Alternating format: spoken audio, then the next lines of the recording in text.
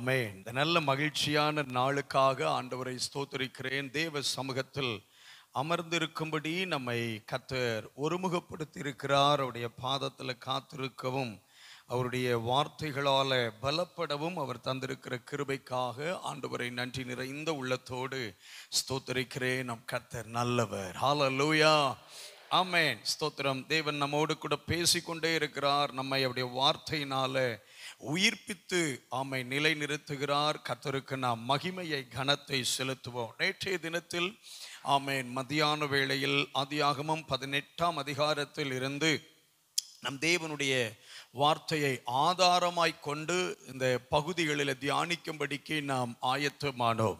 ஆமேன். ஸ்தோத்திரம். ஆண்டவராகிய தேவனுக்கு முன்பாக ஆபிரகாம் நின்று ஜெபித்த ஜெபத்தில் இரண்டு முக்கியமான வசனங்களில் ஒரு காரியத்தை முக்கியப்படுத்துகிறார். நான் இன்னும் பேசுகிறேன். இன்னும் பேசுகிறேன். முப்பது மற்றும் முப்பத்தி மூன்று ஆகிய வசனங்களை நீங்கள் கவனித்து பார்ப்பீர்கள் என்றால் தேவ மனிதர் சொல்லுகிறார் ஆண்டவரே நான் இன்னும் பேசுகிறேன். ஸ்தோத்திரம். அப்போ தேவ பிள்ளையுடைய வாழ்க்கையில ஜெபம் இன்னும் தேவை என்பதை நம்ம பார்த்தோம். ஐந்து காரியங்கள் நம்முடைய வாழ்க்கையில அவசியமா இன்னும் இருக்கணும். ஸ்தோத்திரம். துதி இன்னும் இருக்கணும். ஆமேன். பரிசுத்தம் இன்னும் இருக்கணும். உறுதி இன்னும் இருக்கணும். கொடுத்தலின் சுபாவம் இன்னும் இருக்கணும். ஜெபம் இன்னும் இருக்கணும். இந்த அஞ்சிலையும் திருப்தி வரவே கூடாது. இந்த அஞ்சுக்கும் ஒரு லிமிட்டேஷன் வச்சு நாம் நிறுத்தவே கூடாது. ஸ்தோத்திரம். கத்தருடைய நாமம் மகிமைப்படுவதாக கத்தர் நல்லவர். ஆமேன். அதுல ஆண்டவர் நம்மோடு நேற்றைய தினத்தில் பகல்ல நம்மோடு இடைப்பட்ட காரியம் நாம் ஏன் இன்னும் ஜெபிக்க வேண்டும் என்கிற தலைப்பில் ஒரு காரியத்தை நம்ம கவனித்தோம். தங்களை கெடுத்து கொள்ளுகிற ஜனங்கள் இன்னும் இருக்கிறார்கள். தங்களை கெடுத்து கொள்ளுகிற ஜனங்கள். ஆமேன். ஸ்தோத்திரம். ஆமே ரெண்டு நாளாகமத்தின் புஸ்தகம் இருபத்தி ஏழாம் அதிகாரம் இரண்டாவது வசனத்தை மையமாய் கொண்டு நாம் அந்த காரியத்துக்காக கர்த்தருடைய வார்த்தையின் அடிப்படையில் பாரப்பட கர்த்தர் நமக்கு உதவி செய்தார். யோதாம் என்கிற ராஜா ஆட்சி செய்த காலத்தில் யோதாம் தன்னை கர்த்தருக்குள் திருத்தி கொண்டான் சரிப்படுத்தி கொண்டான். கர்த்தருக்கு உகந்தவனாய் வாழ்ந்திருந்தான். ஆனால் ஜனங்களோ தங்களை இன்னும் கெடுத்து கொண்டிருந்தார்கள் அந்த வார்த்தை நம்முடைய உள்ளத்தை பாரப்படுத்தினது. கத்தர் நல்லவர். நாம் தாமே ஸ்தோத்திர தங்களை கெடுத்து கொள்ளுகிற ஜனங்களுக்காக ஜெபிக்கும் போது எஸ்ரா பத்தாம் அதிகாரத்தில் நடந்தது போல கத்தர் மாற்றங்களை தர முடியும் என்கிறதை கத்தர் நமக்கு சொன்னார். ஹாலலூயா இந்த காரியத்தில் இஸ்ரவேலுக்காக இன்னும் நம்பிக்கை இருக்கிறது.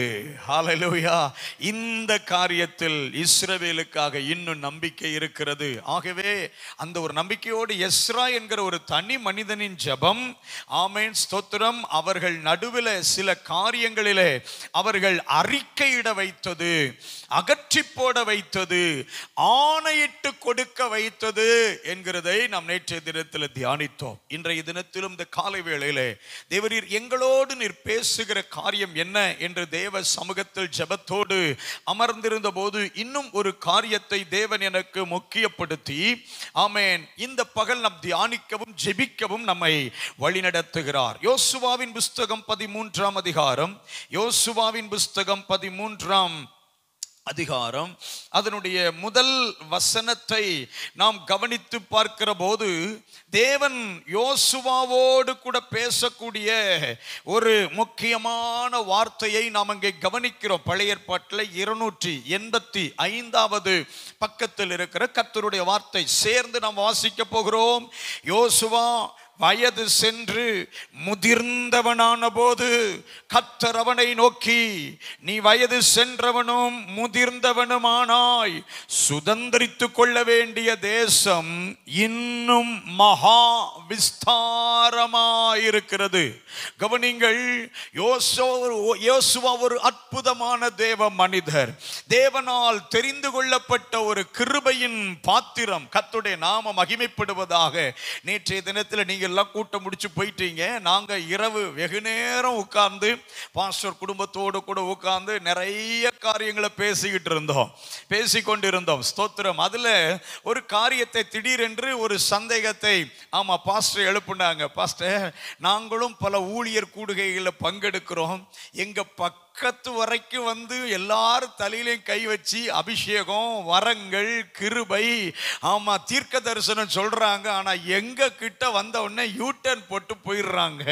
தோத்துரும் அப்போ எங்களுக்கு அது கேள்வியாகுது. ஏன் அவர்கள் எங்கள் தலையில் கை வைக்கலை? ஏன் எங்களுக்கு ப்ராஃபஸி சொல்லலை? ஏன் எங்களுக்கான காரியங்களை செய்யலை? அப்படிங்கும்போது அருமையான பிரதர் ஞானேஷ் அவங்க அந்த காரியத்துக்கான ஒரு விளக்கத்தை கொடுத்தாங்க. ஸ்தோத்திரம் கத்தர் நல்லவர். ஆமீன். மோசையின் மேல் இருந்த அபிஷேகத்தை கத்தர் இன்னும் ஒரு எழுபது பேர் மேல வைத்தார். இன்னும் ஒரு எழுபது பேர் மேல கத்தர் வைத்து அவர்கள் தீர்க்க தரிசனம் உரைக்க ஆரம்பித்தார்கள். ஆனா அந்த எழுபதுல யாரு ஒரு நபரா இருந்திருக்கணும்? யோசுவாவும் ஒரு நபரா இருந்திருக்கணும். ஆனா எழுபது பேர் மேல அந்த ஆவிய வச்சவர் யோசுவா மேல வைக்கல. யோசுவா மேல வைக்கல. ஏன் வைக்கல அப்படின்னா அவன் வெறுமனே தீர்க்க தரிசனம் உரைக்கிறவன் மட்டுமல்ல he is the next leader அவன் அடுத்த தலைவன். ஸ்தோத்திரம். அவங்க சொன்ன ஒரு வேர்டு என்னை ரொம்ப திடப்படுத்தினது. தலைமைத்துவ அபிஷேகம் உள்ளவர்கள் மேல யாரும் அவ்வளவு சீக்கிரம் கை வைக்க கத்தர் விட மாட்டார் அல்ல லோயா தலைமைத்துவ அபிஷேகம் உள்ளவங்க மேலே அவ்வளவு சீக்கிரம் யாரையும் கத்தர் கை வைக்க விட மாட்டார். ஸ்தோத்திரம்.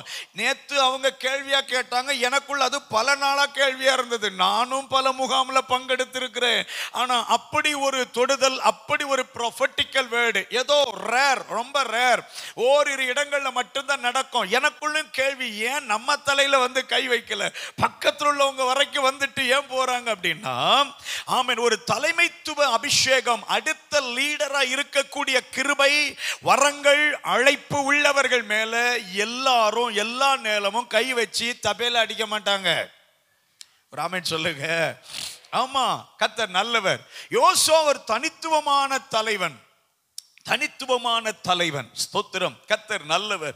அந்த யோசுவாவை கொண்டுதான் தேசத்தை சுதந்திரிக்கும்படியான ஒரு பெரிய திட்டத்தை கத்தர் வைத்தார்.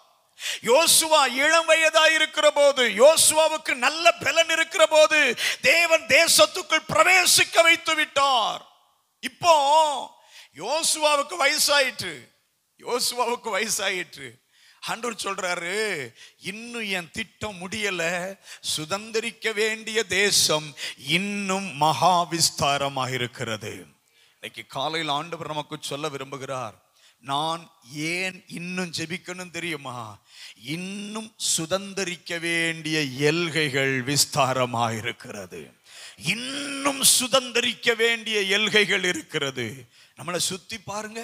எல்லா கிராமமும் தொடப்பட்டு விட்டதா? எல்லா கிராமத்திலும் சபைகள் வந்துட்டா? எல்லா சபைகள்லையும் ஆத்து எல்லா கிராமங்கள்லையும் ஆத்துமாக்கள் எழும்பிட்டாங்களா? நம்ம கிராமத்திலே இன்னும் இருக்கிறாங்க. நம்ம பட்டணத்தை சுத்தியே இன்னும் இருக்கிறாங்க. அப்போ நம்மளை சுத்தியே நிறைய மிஷினரி தனம் இருக்குது. தோத்துறோம் வட இந்தியாவுக்கு நம்ம போகணும்னு அவசியம் இல்லை. சமீபத்தில் வட இந்திய ஊழியம் செய்கிற ஒரு தேவ மனுஷர் சொன்னார். நாங்கள் தென்னிந்தியாவை எதிர்பார்த்த காலம் முடிஞ்சு போச்சு பாஸ்டர். நாங்கள் வட இந்தியாவிலேயே பல தேவ ஊழியர்களை எழுப்பி எங்களுக்குள்ளே மிஷினரிகள் எழுப்பி எங்கள் பகுதிகளை சந்திக்க தொடங்கிட்டாங்க.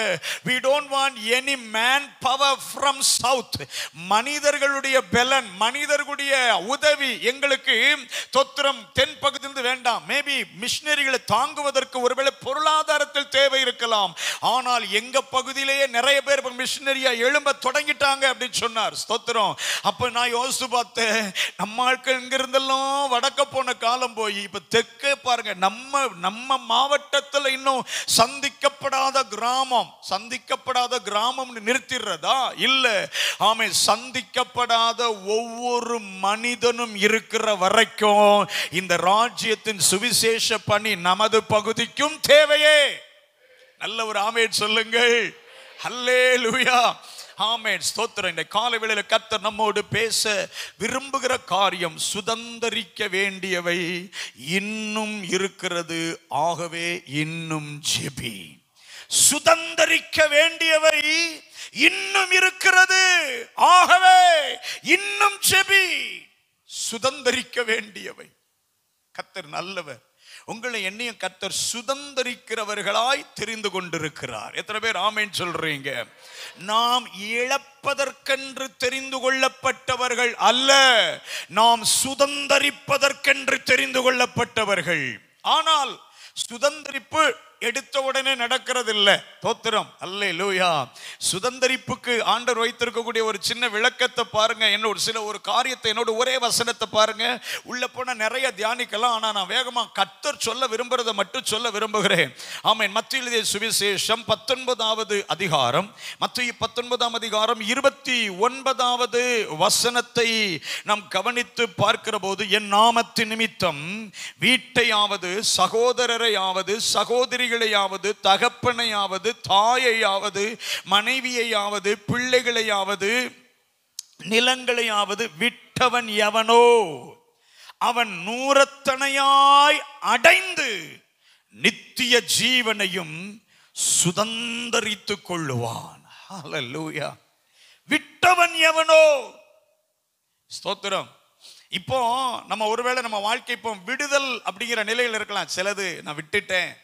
சிலதை நான் இழந்துட்டேன். கிறிஸ்துவை ஏற்றுக்கொண்டதுனால சுவிசேஷத்துக்கு கீழ்ப்படிஞ்சதுனால கர்த்தருடைய வார்த்தை தான் எனக்கு வேணும். தேவனுடைய சத்தியம் தான் வேணும். உபதேசத்தின்படி தான் வாழ்வேன்னு சொன்னதுனால சில காரியங்களை நாம் விட வேண்டி இருக்கலாம் அல்லது சிலவை நம்மை விட்டு போயிருக்கலாம். கத்தர் நல்லவர். தோத்திரம் நம்ம உடனே அழக்கூடாது. உடனே துக்கிக்க கூடாது. இதுக்கு தான் நான் ஆண்டு விட்டு சொன்னேன். சர்ச்சுக்கு போனால் என் குடும்பத்துக்குள்ளே ஒரு பிரச்சனை வரும் குழப்பம் வரும். சிலதை நான் விட வேண்டியிருக்கும். சில வேலையிலிருந்து தூக்கிடுவான். ஆமாம் ஸ்தோத்திரம் சில ஸ்தானங்களிலிருந்து நம்மளை டீக்ரேட் பண்ணிடுவான் இறக்கிடுவான் தோத்திரம் சில இடங்களுக்கு நம்மளை கூப்பிட மாட்டாங்க. சில இடத்துல நம்மை முன்னிலைப்படுத்த மாட்டாங்க. தோத்திரம் கூப்பிட்டாலும் பேருக்கு கூப்பிட்டு ஒரு ஓரத்தில் உட்கார வச்சுட்டான். என்னைய ஏன் வந்த எதுக்கு வந்தேன்னு கேட்கறதுக்கு ஒரு நாதி இல்லை. நான் அனாதை போல போயிட்டு வந்தேன். அப்படின்னு வீட்டில் வந்து அழக்கூடாது. சில காரியங்கள் நாம் இழப்பதோ நம்மை விட்டு போவதோ நாம் ஏதோ ஒன்றை சுதந்தரிக்க போவதற்கான அடையாளம். கையை உயர்த்தோர் அல்லே லுயா தோத்திரம் கத்துடைய நாம மகிமைப்படுவதாக. கத்துடைய நாம மகிமைப்படுவதாக. ஸ்தோத்திரம். அல்ல லூயா எங்களுடைய ஊழியத்தில் எனக்கு அறிமுகமான சில ஊழியர்களோடு கூட சேர்ந்து ஒரு நாள் பேசிக்கிட்டு இருக்கும்போது நம்முடைய ஆலயத்துக்கு ஒரு நல்ல ஜெனரேட்டர் வாங்கினால் நல்லா இருக்கும்னு பேசணும். அப்போ எனக்கு தெரிந்த ஒரு சகோதரர் ஒரு இடத்துல ஒரு ஜெனரேட்டர் இருக்குன்னு சொன்னார். தோத்திரம் நாங்கள் ஒரு சில ஊழியர்களாக போய் அந்த ஜெனரேட்டரை போய் பார்த்தோம். அவர் முப்பத்தி ஏழாயிரம் ரூபாய் இருந்தால் நீங்கள் இந்த ஜென்ரேட்டரை எடுத்துக்கோங்க பாஸ்டர்னார். என் கையில் முப்பதாயிரம் ரூபாய் இருந்தது. இன்னும் ஒரு ஏழாயிரம் ரூபாய் தேவை. ஸ்தோத்திரம். கடன் வாங்கக்கூடாது. நான் சொன்னேன் அடுத்த மாதம் நான் முப்பத்தி ஏழாயிரம் ரூபாயோடு வந்து எடுத்துக்கொள்கிறேன்னு சொன்னேன். அவர் சொன்னார் பாஸ்டர் நான் அடுத்த மாதம் வரைக்கும் வச்சிருக்கிறது கஷ்டம்னார். அப்போ சரி முப்பதாயிரம் ரூபாயை கையில் கொடுத்துட்டு இன்னொரு ஏழாயிரம் ரூபாய் தான். உங்களுக்கு தேவை அமௌண்ட்டு தானே? தேர்ட்டி தௌசண்ட் வச்சுக்கோங்க. நான் அடுத்த மாதம் ஏழாயிரம் ரூபாய் கொடுத்துட்டு ஜென்ரேட்டர் எடுத்துக்கிறேன். அப்படின்னு சொல்லிட்டு வந்தேன் சந்தோஷமாக வாங்கி வச்சுக்கிட்டார். நான் அடுத்த மாதம் ஏழாயிரம் ரூபாய் எடுத்துட்டு ஸ்தோத்திரம் எங்கள் சர்ச்சு காரையும் எடுத்துட்டு போகிறேன் போய் ஜென்ரேட்டர் எடுக்கலான்னு போனால் அவர் சொல்கிறாரு பாஸ்டர் உங்களுக்கு தெரியாதா? உங்கள் ஃப்ரெண்டு சொல்லலையான்னார். என்ன ஆச்சுன்னு? உங்கள் கூட வந்த பாஸ்டர் தான் அடுத்த நாளே வந்து நாற்பதாயிரம் ரூபாய் கொடுத்துட்டு ஜென்ரேட்டர் தூக்கிட்டு போயிட்டாரு. இன்னாங்க உங்கள் முப்பதாயிரம் ரூபான்றாரு எனக்கு பக்குனாயிட்டு என் நண்பர் எனக்கு அறிமுகமானவர் என் கூட தான் வந்தாரு. என் கூட தான் நின்று முப்பத்தி ஏழாயிரம் ரூபாய் பேசும்போது பார்க்குறாரு நான் முப்பதாயிரம் ரூபாய் கொடுக்கும்போது பார்க்குறாரு ஆனால் மனுஷன் அடுத்த நாளே வந்து நாற்பதாயிரம் ரூபாய் கொடுத்துட்டு ஜென்ரேட்டர் தூக்கிட்டு போயிட்டாரு. எங்க நான் என்ன செய்யணும் கேட்டால் அவர் அடுத்த மாதம் வரும்போது முப்பதாயிரத்தை கொடுத்துருங்கன்னு சொல்லிட்டு போயிட்டாராம். ஸ்தோத்திரம். எனக்கு அவர் மேலே பயங்கர டென்ஷன் வேகமாக வந்தேன். சர்ச்சில் போய் பீடத்து பக்கத்தில் உட்காந்து அப்படியே பரலோகத்தை வெறிச்சு பார்த்துட்டே உட்காந்துருந்தேன் என்ன ஆண்டவர் இது?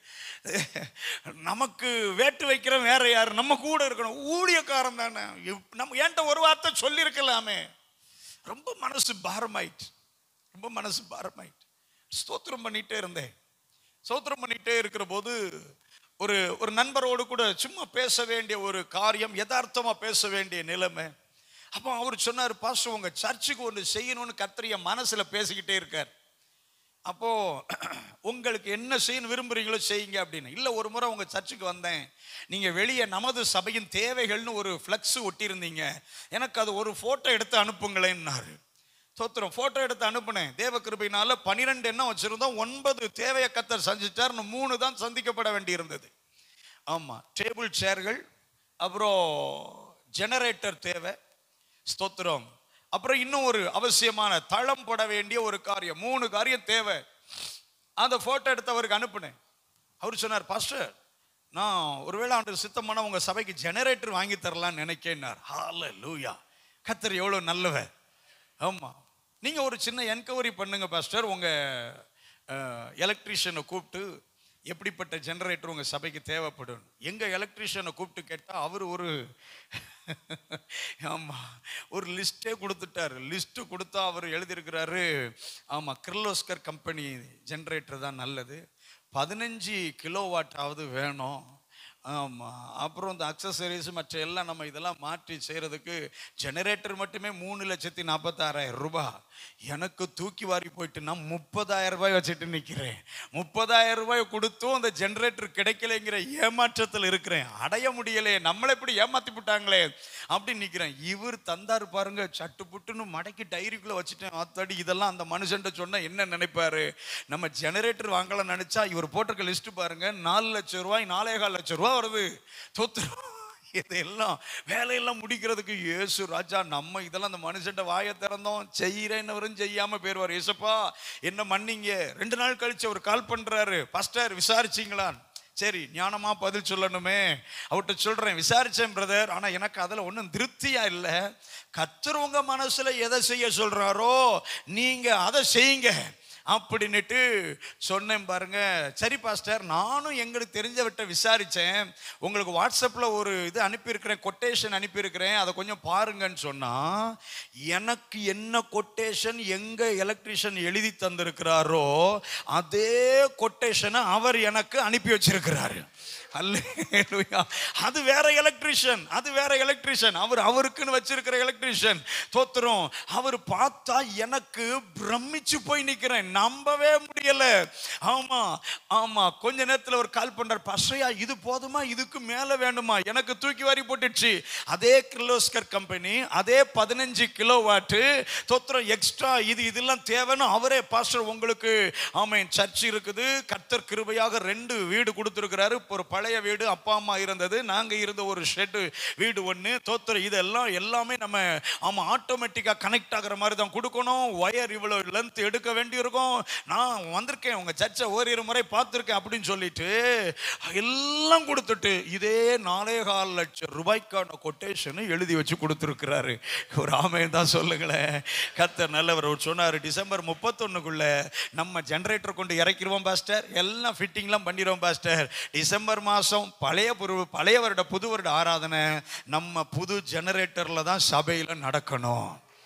அல்லே லூயா அப்போ தான் ஆண்டவர் சொன்னார் அந்த முப்பதாயிரம் ரூபாய் ஜெனரேட்டர் போனதுக்காக சந்தோஷப்படு. கூட இருந்தே அவன் வாங்கிட்டு போனதுக்காக. ஆமாம் வாழ்க்கையில் சில காரியங்கள் நம்மை விட்டு போனதுக்காக தோத்திரம் பண்ணணும். நமக்கு அது கிடைக்காததுக்காக ஸ்தோத்திரம் பண்ணணும்.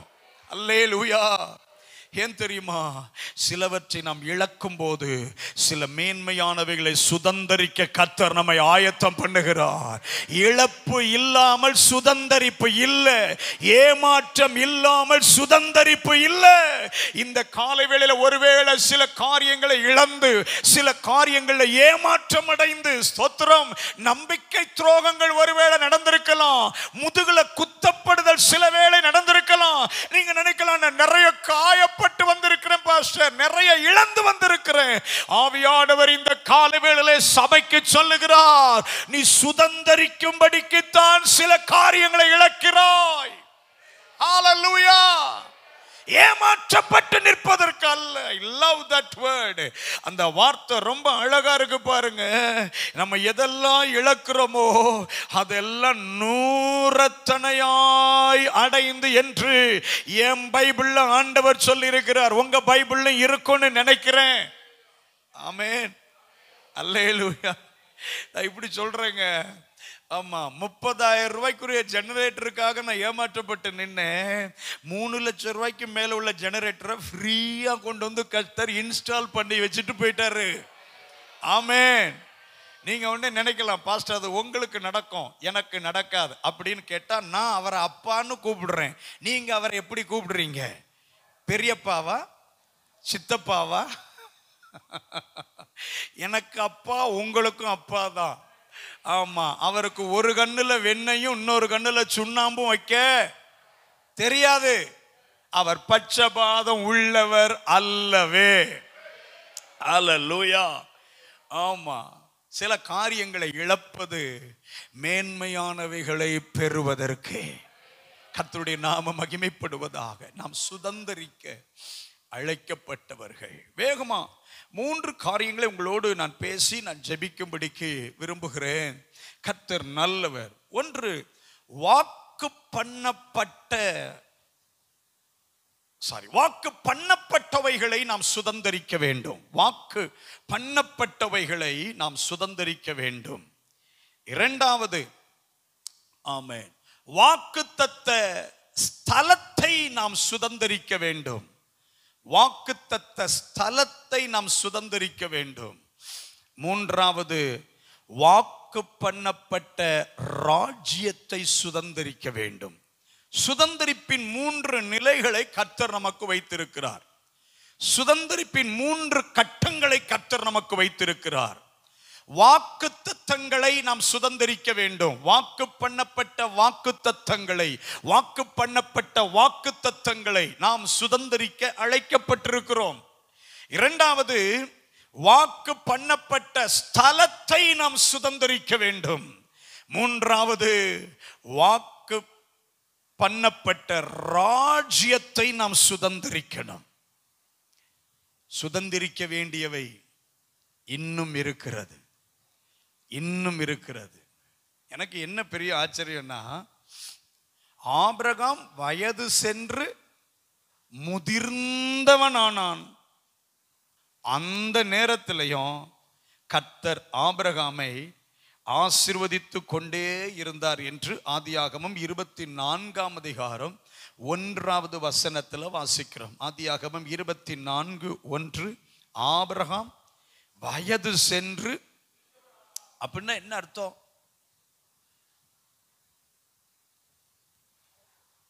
பெட்டி ரெடி ஆயிட்டு குழி ரெடி ஆயிட்டுன்னு அர்த்தம். எப்பனாலும் தூக்கி ஐயாவை எங்க வைக்கலாம்? எக்ஸ்பைரி டேட் நெருங்கிட்டோ அல்லது முடிஞ்சிட்டோ தெரியல. வயது சென்று முதிர்ந்தவன் ஆனான்னா நம்ம ஊர்ல பாத்தீங்கன்னா நம்ம சிலர் பெரிய ஆட்கள் சொல்லுவாங்க கிடையில கிடக்கக்கூடாதுப்பா. எவங்கிட்டையும் ஒ- ஒரு டம்ளர் கஞ்சிக்கு ஒரு தட்டு ஒரு நேரம் டீக்கு என்ன செய்யக்கூடாது? ஏந்தி நிற்கக்கூடாது ஏங்கி நிற்கக்கூடாது கடவுளே நல்ல பிளன் இருக்கும் போதே என்ன என்ன செஞ்சிரு? சில பெரியவங்க ஜோமன்ற ஞானமான ஜபம்னு நினைக்கிறோம். ஆனால் உண்மையிலே நான் இப்படி சொல்ல விரும்புகிறேன் நீங்களும் நானும் வாக்குத்தத்தம் பண்ணப்பட்டதை கத்தர் சுதந்திரிக்க பண்ணுகிறவங்க நிச்சயம் இருந்தா படுக்கையில் கிடந்தா கூட நம்மளை ராஜா வாழ்க்கையில் தான் கத்தர் வச்சிருப்பார்.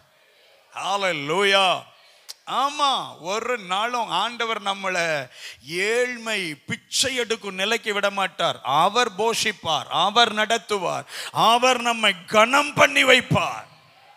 வயது சென்று முதிர்ந்தவனான போதும் ஆபிரகாமை சகல காரியத்திலும் கத்தர் பாருங்க பெரியவர்களுக்கு ஐயாமாருக்கு அம்மாமாருக்குலாம் சொல்லுவேன் நமக்கு வருமானம் இருக்கிற வரைக்கும் தான் வீட்டில் மரியாதை. ஆமாம் வருமானம் இருக்கிற வரைக்கும் தான் வீட்டில் மரியாதை. வருமானம் என்னைக்கு குறையுதோ அன்னைக்கு பெருசு என்ன சொல்லுதுன்னு கேட்பாங்க. அது வரைக்கும் அப்பான்னுவாங்க மாமான்னுவாங்க அது வரைக்கும் ஐயா அப்படின்னுவாங்க. வருமானம் வரலன்னா கிழடு என்ன சொல்லுது? அது அப்படி அப்படிதான் அலப்பிக்கிட்டு கிடக்கும். கடவுள்னு அதை உயிரோடு போட்டு வச்சிருக்கா பார் அப்படிங்கிற பேச்செல்லாம் நம்ம காதில் கேட்க வேண்டியதாக இருக்கும். ஆனால் நம்ம நான் இப்படி தான் எப்போவுமே ஜோ ஜோபனேன் வயதானவர்கள்லாம் பார்க்கும்போது கணம் நிறைந்த ஒரு பாத்திரமாக இவங்களை வீட்டில் வச்சிருங்க ஆண்டவர். நல்ல ஒரு ஆமேன் சொல்லுங்களேன். ஆமாம் வீட்டில் இருக்கிற முதிர் வயதானவர்கள் கத்தர் நமக்கு தந்திருக்கிற கிருபையின் பாத்திரங்கள். ஆமேன் சொல்லுகிறவர்களுக்காக கத்தருக்கு ஸ்தோத்திரம். அல்லை லூயா ஏனெனில் அவர்கள் முதிர் வயதான நிலையில் கனப்படுத்தப்படுவார்கள் அல்லேலூயா. ஆண்டுடைய நாம மகிமைப்படுவதாக. ஆமா வயது சென்று முதிர்ந்தவனான போதும் ஆபிரகாமை கத்தர் ஆசீர்வதித்து வந்தார். எவ்வளவு பெரிய பாக்கியமான வார்த்தை பாருங்க. கத்தர் நல்லவர். சரி மூன்று காரியங்களை நம்ம வேகமாக தியானித்து ஜெபிப்போம். வாக்கு பண்ணப்பட்டவைகளை நாம் சுதந்தரிக்க வேண்டும். ஆதியாகமம் பதினைந்தாம் அதிகாரம் ஆதியாகமம் பதினைந்தாம் அதிகாரம் அதனுடைய எட்டாவது வசனத்தை என்னோடு சேர்ந்து கவனித்து பாருங்கள். அதற்கு அவன் கத்தராகிய ஆண்டவரே நான் அதை சுதந்தரித்துக் கொள்வேன் என்று எதினால் அறிவேன். ஒரு கேள்வி ஆண்டருக்கு முன்னாடி ஆபிரகாம் வைக்கிறார். ஆண்டவரே நான் வாக்குத்தத்தம் பண்ணினவைகளை சுதந்தரித்துக் கொள்வேன் என்று எதினால் அறிவேன். அப்போ ஆபிரகாமின் மனதில் ஒரு காரியத்தை குறித்த ஒரு நோக்கம் ஒரு தெளிவு வாக்குத்தத்தம் பண்ணப்பட்டதை நான் சுதந்திரித்து கொள்வேன். கேள்வி இருக்கு எதனால்னு இருக்கு? ஆனா என் லைஃப கத்தர் இப்ப எதுக்கு நேரம் கொண்டு போயிட்டு இருக்கிறாரு வாக்கு பண்ணப்பட்டதை சுதந்தரிக்கும் நிலைக்கு நேரே கத்தர் கொண்டு போயிட்டு இருக்கிறார் லூயா ஸ்தோத்திரம். மூணு காரியத்தை ஆண்டவர் இதில் சொல்றார் பாருங்க. பதினஞ்சாம் அதிகாரம் முதல் வசனம். ஆண்டவர் சொல்றாரு அந்த வாக்கு பண்ணப்பட்டதை நோக்கி அடையக்கூடிய பயணத்துல தேவ பிள்ளைகள் மூன்று காரியத்தை கவனிக்க வேண்டியது அவசியம். ஸ்தோத்திரம். அதுக்கு முன்னாடி அஞ்சாவது வசனத்தை கொஞ்சம் கவனிச்சிருங்க. அவர் அவனை வெளியே அழைத்து ஸ்தோத்திரம். அவர் அவனை வெளியே அழைத்து இங்க பாருங்க வாக்கு பண்ணப்பட்டதை நோக்கிய பார்வை வரணும்னா சில காரியத்தை விட்டு வெளியே வரணும். சில சூழ்நிலைகளை விட்டு வெளியே வரணும். வெளியே வரலன்னா வாக்கு பண்ணப்பட்டதை நோக்கிய பார்வை வராது. நிறைய பேருக்குடைய பார்வையை பாருங்க. எப்போ பார்த்தாலும் தோல்வி எப்போ பார்த்தாலும் கண்ணீர் எப்போ பார்த்தாலும் இழப்பு. ஏன்னா மேல அவர் அதான் சொல்லிட்டு இருக்கிறாரு. ஆண்டவர் வந்து சொல்றாருங்க பதினஞ்சாம் அதிகாரம் ஒன்னாவது வசனத்துல அபராமே பயப்படாதே நான் உனக்கு கேடகமும் உனக்கு மகா பெரிய பலனுமா இருக்கிற இப்போ ஆண்டவர் நேர வந்து உங்ககிட்ட அந்த வார்த்தையை சொல்றாருன்னு வைங்களேன். பயப்படாதே. ஆண்டவரே வந்து சொன்னா ஸ்தோத்திரம் நான் உனக்கு கேடகமும் பெரிய பலனுமா இருக்கிறேன்னு சொன்னா நீங்க என்ன சொல்லுவீங்க? நீங்க என்ன சொல்லுவீங்க? நீங்க ஆபரகாமின் சந்ததின்னு அப்படியே காட்டுறீங்க பாத்தீங்களா? அமைதியா இருக்கீங்க. ரியலா யோசிங்க இன்னைக்கு இந்த ஜெப முகாமின் ரெண்டாவது நாள் ஆண்டவர் உங்களுக்கு தரிசனமாகி பயப்படாதே நான் உனக்கு கேடகமும் உனக்கு மகா பெரிய பலனுமா இருக்கிறேன்னு சொன்னா என்ன செய்வீங்க? செத்து போயிடுவோன்ன மாதிரி எனக்கு தெரியுது. எங்க யதார்த்தமா என்ன செய்வீங்க? ஒரு ஆமைன்னு சொல்ல மாட்டீங்களா? ஆண்டவர் சொல்லும்போது நம்புறேன் ஆண்டவரே நம்புறேன். சொல்ல மாட்டீங்களா? மற்ற எல்லாரும் பக்கத்தில் சும்மா இருக்கும்போது கத்தர் நம்மோடு பேசியாச்சுன்னா ஐயோ நம்மளை கையில் பிடிக்க முடியாது. தோத்திரம் பாஸ்டர் உங்களுக்கு ஒரு சாட்சி சொல்லணும். கடைசி சபை நடந்துட்டு இருக்கும்போது ஏசப்பா வந்து எனக்கு தரிசனமானாங்க. பயப்படாதே நான் உனக்கு கேடகம் உனக்கு மகா பெரிய பலனமாக இருக்கிறேன். ஆண்டவர் சொன்னார். சொல்லுவீங்களா சொல்ல மாட்டீங்களா? ஆ, அல்ல லூயா ரொம்ப பயந்து போய் இருக்க மாதிரி இருக்கு. உங்களை யாரும் மிரட்டி கொண்டு வந்தாங்களோ? இல்லையே தோத்துரும். ஜெபத்துக்கு வா வாய திறந்துராத தோத்துரும். கேட்பாரு பதில். மிரட்டி கேட்பாரு உருட்டி கேட்பாரு மூணு நாள் ஜெப முகாம் முடிகிற வரைக்கும் திறந்துராதன்னு உங்களை யாரும் மிரட்டலையே. இல்- இல்ல இல்ல அப்போ பதில யதார்த்தமா சொல்லுங்க. தோத்துறோம் கத்தர் நல்லவர். ஆமை உண்மையிலே ஆண்டவர் நம்மகிட்ட பேசுனா நம்ம ஒரு ஆமைனாவது சொல்லுவோம். இல்லையா? பக்கத்தில் இருக்கவங்ககிட்ட சொல்லுவோம் கத்தர் பேசினார். எனக்கு இந்த வார்த்தையை தந்தார். சொல்லுவோம். ஆபிரகாம்கிட்ட ஆண்டவர் வந்து பேசுகிறாரு நம்ம ஆளுடைய ரிப்ளை என்ன தெரியுமா? ரெண்டாவது வசனத்தில் பாருங்க. அதற்கு ஆபிரகாம் கத்தராகி ஆண்டவரே ஆ, அடியனுக்கு என்ன தருவீரு? நம்ம ஊர் பாஷையில் அப்படிதான். இனிமே என்னையா தரப்புறீரு? கேடகமும் துருகமும் கோட்டையும் பெலனுமா இருக்கிறீரா? நல்லா தான் இருக்கு. பேசுறதெல்லாம் சூப்பராக தான் பேசுறீரு. நம்ம சில நேரம் சொல்லுவோம்ல அது வாயில வடை சுடுற பார்ட்டி சார் அப்படின்ன மாதிரி ஸ்தோத்திரம். பல நேரங்கள் நம்ம அப்படி தான் ஆண்டவரை நினச்சிட்டு இருக்கிறோம். ஆனால் ஆண்டவர் இன்னைக்கு பகல் நமக்கு சொல்கிறாரு நீ வாக்கு பண்ணப்பட்டதை சுதந்தரிக்கும்படி அழைக்கப்பட்டவன். ஹalleluya சரி. மூணு காரியத்தை விட்டு வெளியே வந்தா அதை சுதந்தரிக்கலாம். ஏகமா சொல்லிட்டு அடுத்தடுத்த காரியத்துக்கு போக போறோம் வாக்கு பண்ணப்பட்டதை சுதந்தரிக்கணுமா? நம்பர் ஒன் பயத்தை விட்டு வெளியே வா. எதை விட்டு வெளியே வரணும்? எல்லாரும் சொல்லுங்க பயத்தை விட்டு. ஐயோ ரொம்ப பயந்துலாம் சொல்றீங்க. கொஞ்சம் பயத்தை விட்டு வெளியே வந்து சொல்லுங்க பாப்போம். பயத்தை விட்டு ஆமா இப்பதான் பாதி பயத்தை விட்டு வந்திருக்கோம். முழுச பயத்தை விட்டு வெளியே வந்து சொல்லுங்க. பயத்தை விட்டு. இன்னைக்கு நிறைய பேர் ஒரு பயம் என்கிற கூடாரத்தை போட்டு உள்ள உட்கார்ந்துருக்கிறோம். பயம் ஸ்தோத்திரம். சர்ச்சுக்கு போறேன் ரட்சிக்கப்பட்டு ஞானஸ்தானம் எடுத்துட்டு ஆனாலும் ஒரு பயம் உள்ள ஓடிக்கிட்டு தாங்க இருக்குது. தோத்துறோம். ஆமா எப்படி நம்ம லைஃப் நிக்க போகுது? வசனத்தை நம்புறேன். ஆண்டவர் பேசுறாரு but still I have some fear சில காரியங்களை குறித்த பயம். ஆண்டவர் சொல்றார் பயத்தை விட்டு முதல்ல வெளியே வா. பயப்படாத. பயப்படாத. நம்ம வாழ்க்கையில நம்மளை அதிகம் தாக்கக்கூடிய ஒரு பெரிய ஆயுதம் பயம். லூயா நம்மை விசுவாசிக்க விடாம தடுக்கிற ஒரே ஒரு காரியம் என்னது? ஆவிக்குரிய உலகத்துல விசுவாசத்துக்கு எதிர்ப்பதம் அவிசுவாசம் அல்ல. ஆவிக்குரிய உலகத்துல விசுவாசத்துக்கு எதிர்ப்பதம் ஃபியர் ஆமா. ஆமா. விசுவாசத்துக்கு எதிர்ப்பதம் பயம். சிம்பிளா சொல்றேன். இயேசுவின் சீசர்களும் படகுல பிரயாணம் போயிட்டு இருக்கிறாங்க ஸ்தோத்திரம். போயிட்டு இருக்கிறாங்க பெரும் காற்று புயல் எழுப்பி பெரிய கஷ்டப்படுறாங்க. இயேசுவை எழுப்புறாங்க. ஐயரே நாங்கள் மடிந்து போகிறதை குறித்து உமக்கு. அவர் எழும்பிட்டு காற்றையும் கடலையும் அதட்டிட்டு இவங்கிட்ட கேட்கிறார் ஏன் பயப்பட்டீர்கள்? உங்கள் விசுவாசம் எங்கே? ஏன் பயப்பட்டீர்கள் உங்கள் விசுவாசம்? அப்ப என்ன அர்த்தம்? பயம் இருக்கிற இடத்துல விசுவாசம் செயல்படாது. விசுவாசம் இருக்கிற இடத்துல பயம் செயல்பட முடியாது. நல்ல ஒரு ஆமேன் சொல்லுங்க. ஹalleluya பக்கத்துல பார்த்து சொல்லுங்க. பயம் இருக்கிற இடத்துல விசுவாசம் செயல்பட முடியாது. விசுவாசம் செயல்படுகிற இடத்துல பயம் இருக்க முடியாது. நல்ல ஒரு ஆமேன் சொல்லுங்க. Where there is fear faith shall be quieter அங்கே அமைதியாக இருக்கும் விசுவாசம். ஒரு ஓரத்தில் உட்காந்துருக்கும் விசுவாசிக்கிறேன் பாஸ்டர் ஆனாலும் ஆனாலும் ஆமாம் ஆனாலும் ஆவன்னாலும் ஈனாலும் ஈயன்னா இப்படியே தான் சொல்லிக்கிட்டு இருப்போம். அந்த விசுவாசத்தை ஒரு ஓரத்தை தான் வச்சுட்டு இருக்கோம் நான். என்னைக்கு? நான் பயப்படல ஆண்டுவரே உண்மை நம்புகிறேன் உங்கள் வார்த்தையை நம்புகிறேன். நீர் நன்மையானதைத்தான் எனக்கு செய்வீர். பயத்தை விட்டு வெளியே வந்தா வாக்கு தத்தங்களை சுதந்திரிக்கலாம். அல்லேலூயா சரி ரெண்டாவது பரிதாபத்தை விட்டு வெளியே வரணும். எதை விட்டு வெளியே வரணும்? எல்லாரும் சொல்லுங்க இந்த வார்த்தைய பரிதாபம். எல்லாரும் சொல்லுங்க. ஐயோ நீங்க சொல்லும் போதே ரொம்ப பரிதாபமா இருக்கு. சொல்லிருங்க இந்த வார்த்தை. என்ன வார்த்தை?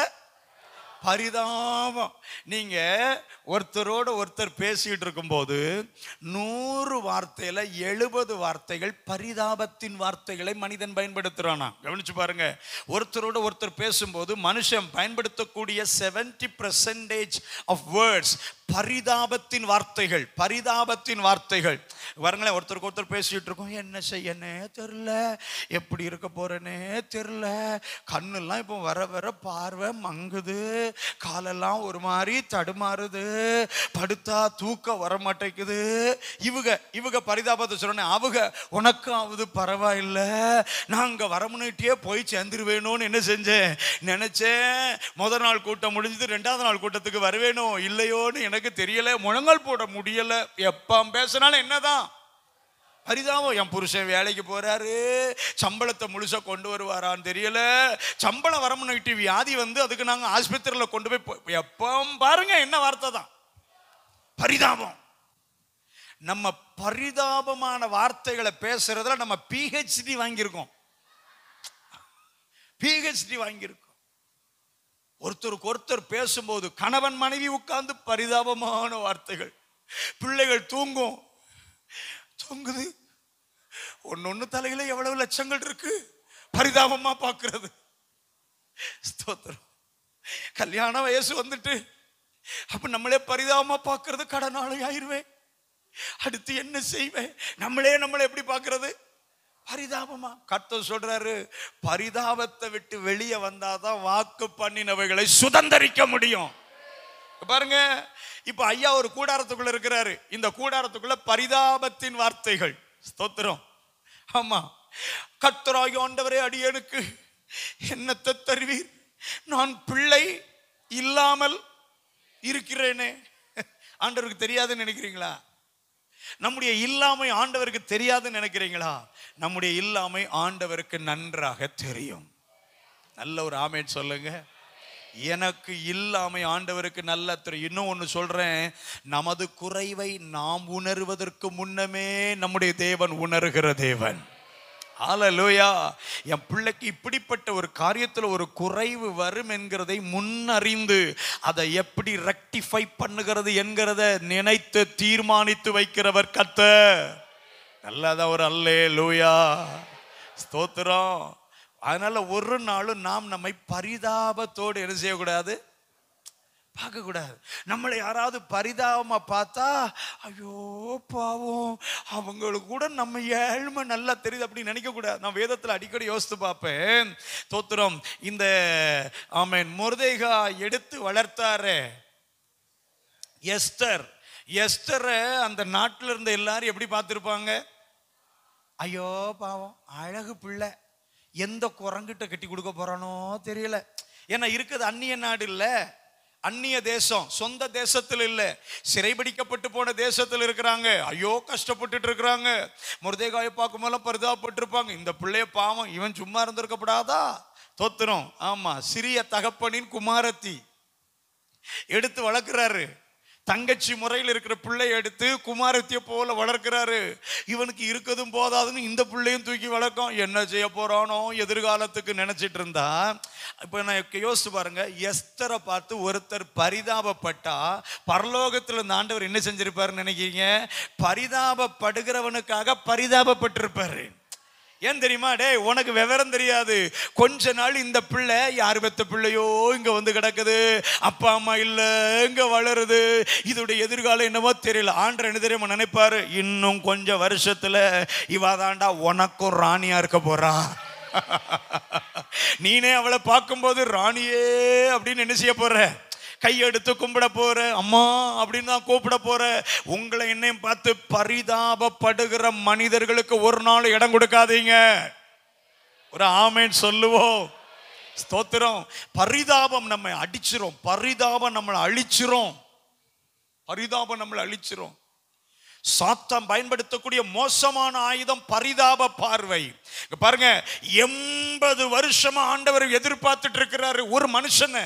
You know God was eagerly waiting for a single leader ஒரு மனிதன் எழும்புனா போதும் நானூறு வருட சிறையிருப்பை மாற்ற முடியும்னு சொல்லிட்டு மோசைய கத்தர் எதிர்பார்த்து இருக்கிறாரு ரொம்ப பர்டிகுலரா பக்காவா பிளான் போட்டு எண்பதாவது வயதுல ஒரே பர்வதத்துல இந்த ஒரு ஸ்தோத்திரம் செடியில நான் அக்கினியா போல எரியணும் அவனை சந்திக்கணும் அழைக்கணும்.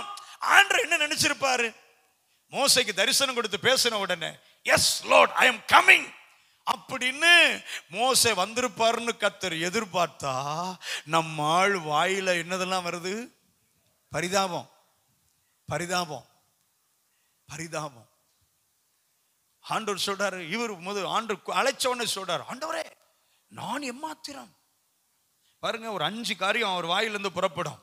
யாத்ராகமத்தின் புஸ்தகம் மூன்றாம் அதிகாரம் பதினோராவது வசனம். ஆண்டவர் சொல்றார் எனக்கு ரொம்ப பிடிச்சது என்ன தெரியுமா? எட்டாவது ஏழாவது எட்டாவது வசனத்தை பாருங்க. யாத்ராகமும் மூன்றாம் அதிகாரம் ஏழு எட்டு. அப்பொழுது கத்தர் எகிப்தில் இருக்கிற என் ஜனத்தின் உபத்திரவத்தை நான் பார்க்கவே பார்த்து. ஐயா ஐயா இப்போ இருக்கக்கூடிய ஸ்தானம் வேற. ஆனா ஆண்டவர் சொல்றாரு நான் எகிப்தில் இருக்கிற ஜனங்களை நான் பார்த்துருக்கிறேன். மோசே நீ அவங்கள பார்த்து பல வருஷம் ஆச்சு. ஆனா நான் இப்போது என் கண்களை அவர்கள் மீது வைத்திருக்கிறேன். உங்களுக்கு தெரியுமா? நீங்களும் நானும் பார்க்க முடியாத விதங்களில் பார்க்க முடியாத சூழ்நிலைகளிலும் நம்மையும் நமது குடும்பத்தையும் நம்முடைய தலைமுறைகளையும் பார்க்கிற ஒரு நல்ல தகப்பன் நமக்கு இருக்கிறார். ஹalleluya அவர் சொல்றார் நான் பார்க்கவே பார்த்து ஆளோட்டுகளின் நிமித்தம் அவர்கள் இடுகிற கூக்குரலை பாருங்க பார்த்தேன் கேட்டேன் அறிந்திருக்கிறேன். சரி அவங்க சூழ்நிலையை சொல்லிட்டேன். இப்ப ஏன் பிளான சொல்றேன். எட்டாவது வசனத்துல சொல்றாரு திஸ் இஸ் மை பிளான் அவர்களை எகிப்தியரின் கைக்கு விடுதலையாக்க போகிறேன்.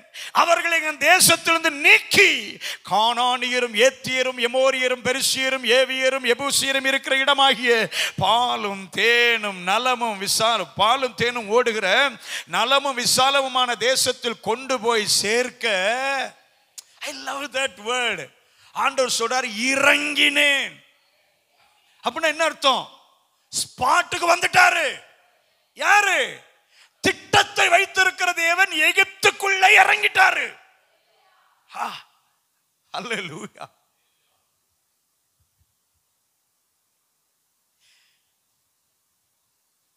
பத்தாவது வசனம். என் பைபிள் இப்படி தொடங்குது. நீ அப்படின்னு தொடங்குது. எப்படி தொடங்குது? நீ. எவ்வளவு சூப்பரான ஆண்டவர் பாருங்க. நான் பார்த்தேன்றாரு. நான் அவர்களுடைய உபத்திரவங்கள் அறிந்தேன்னு சொல்றாரு. பெரிய திட்டத்தோடு எகிப்துக்குள்ள இறங்கிட்டேன்னு சொல்றாரு. அப்ப அவரே வேலையை முடிச்சிருக்க வேண்டியதானே? அவர் ஏன் இறங்கி இருக்கிறார் தெரியுமா? நீ அங்கே முக்கியமானவன். நீ. இந்த காலவேளையில் இதை ஒரு தீர்க்க தரிசன வார்த்தையாக கத்தர் நமக்கு நேரே அனுப்பி சொல்லுகிறார். நீ எனக்கு ரொம்ப முக்கியம்.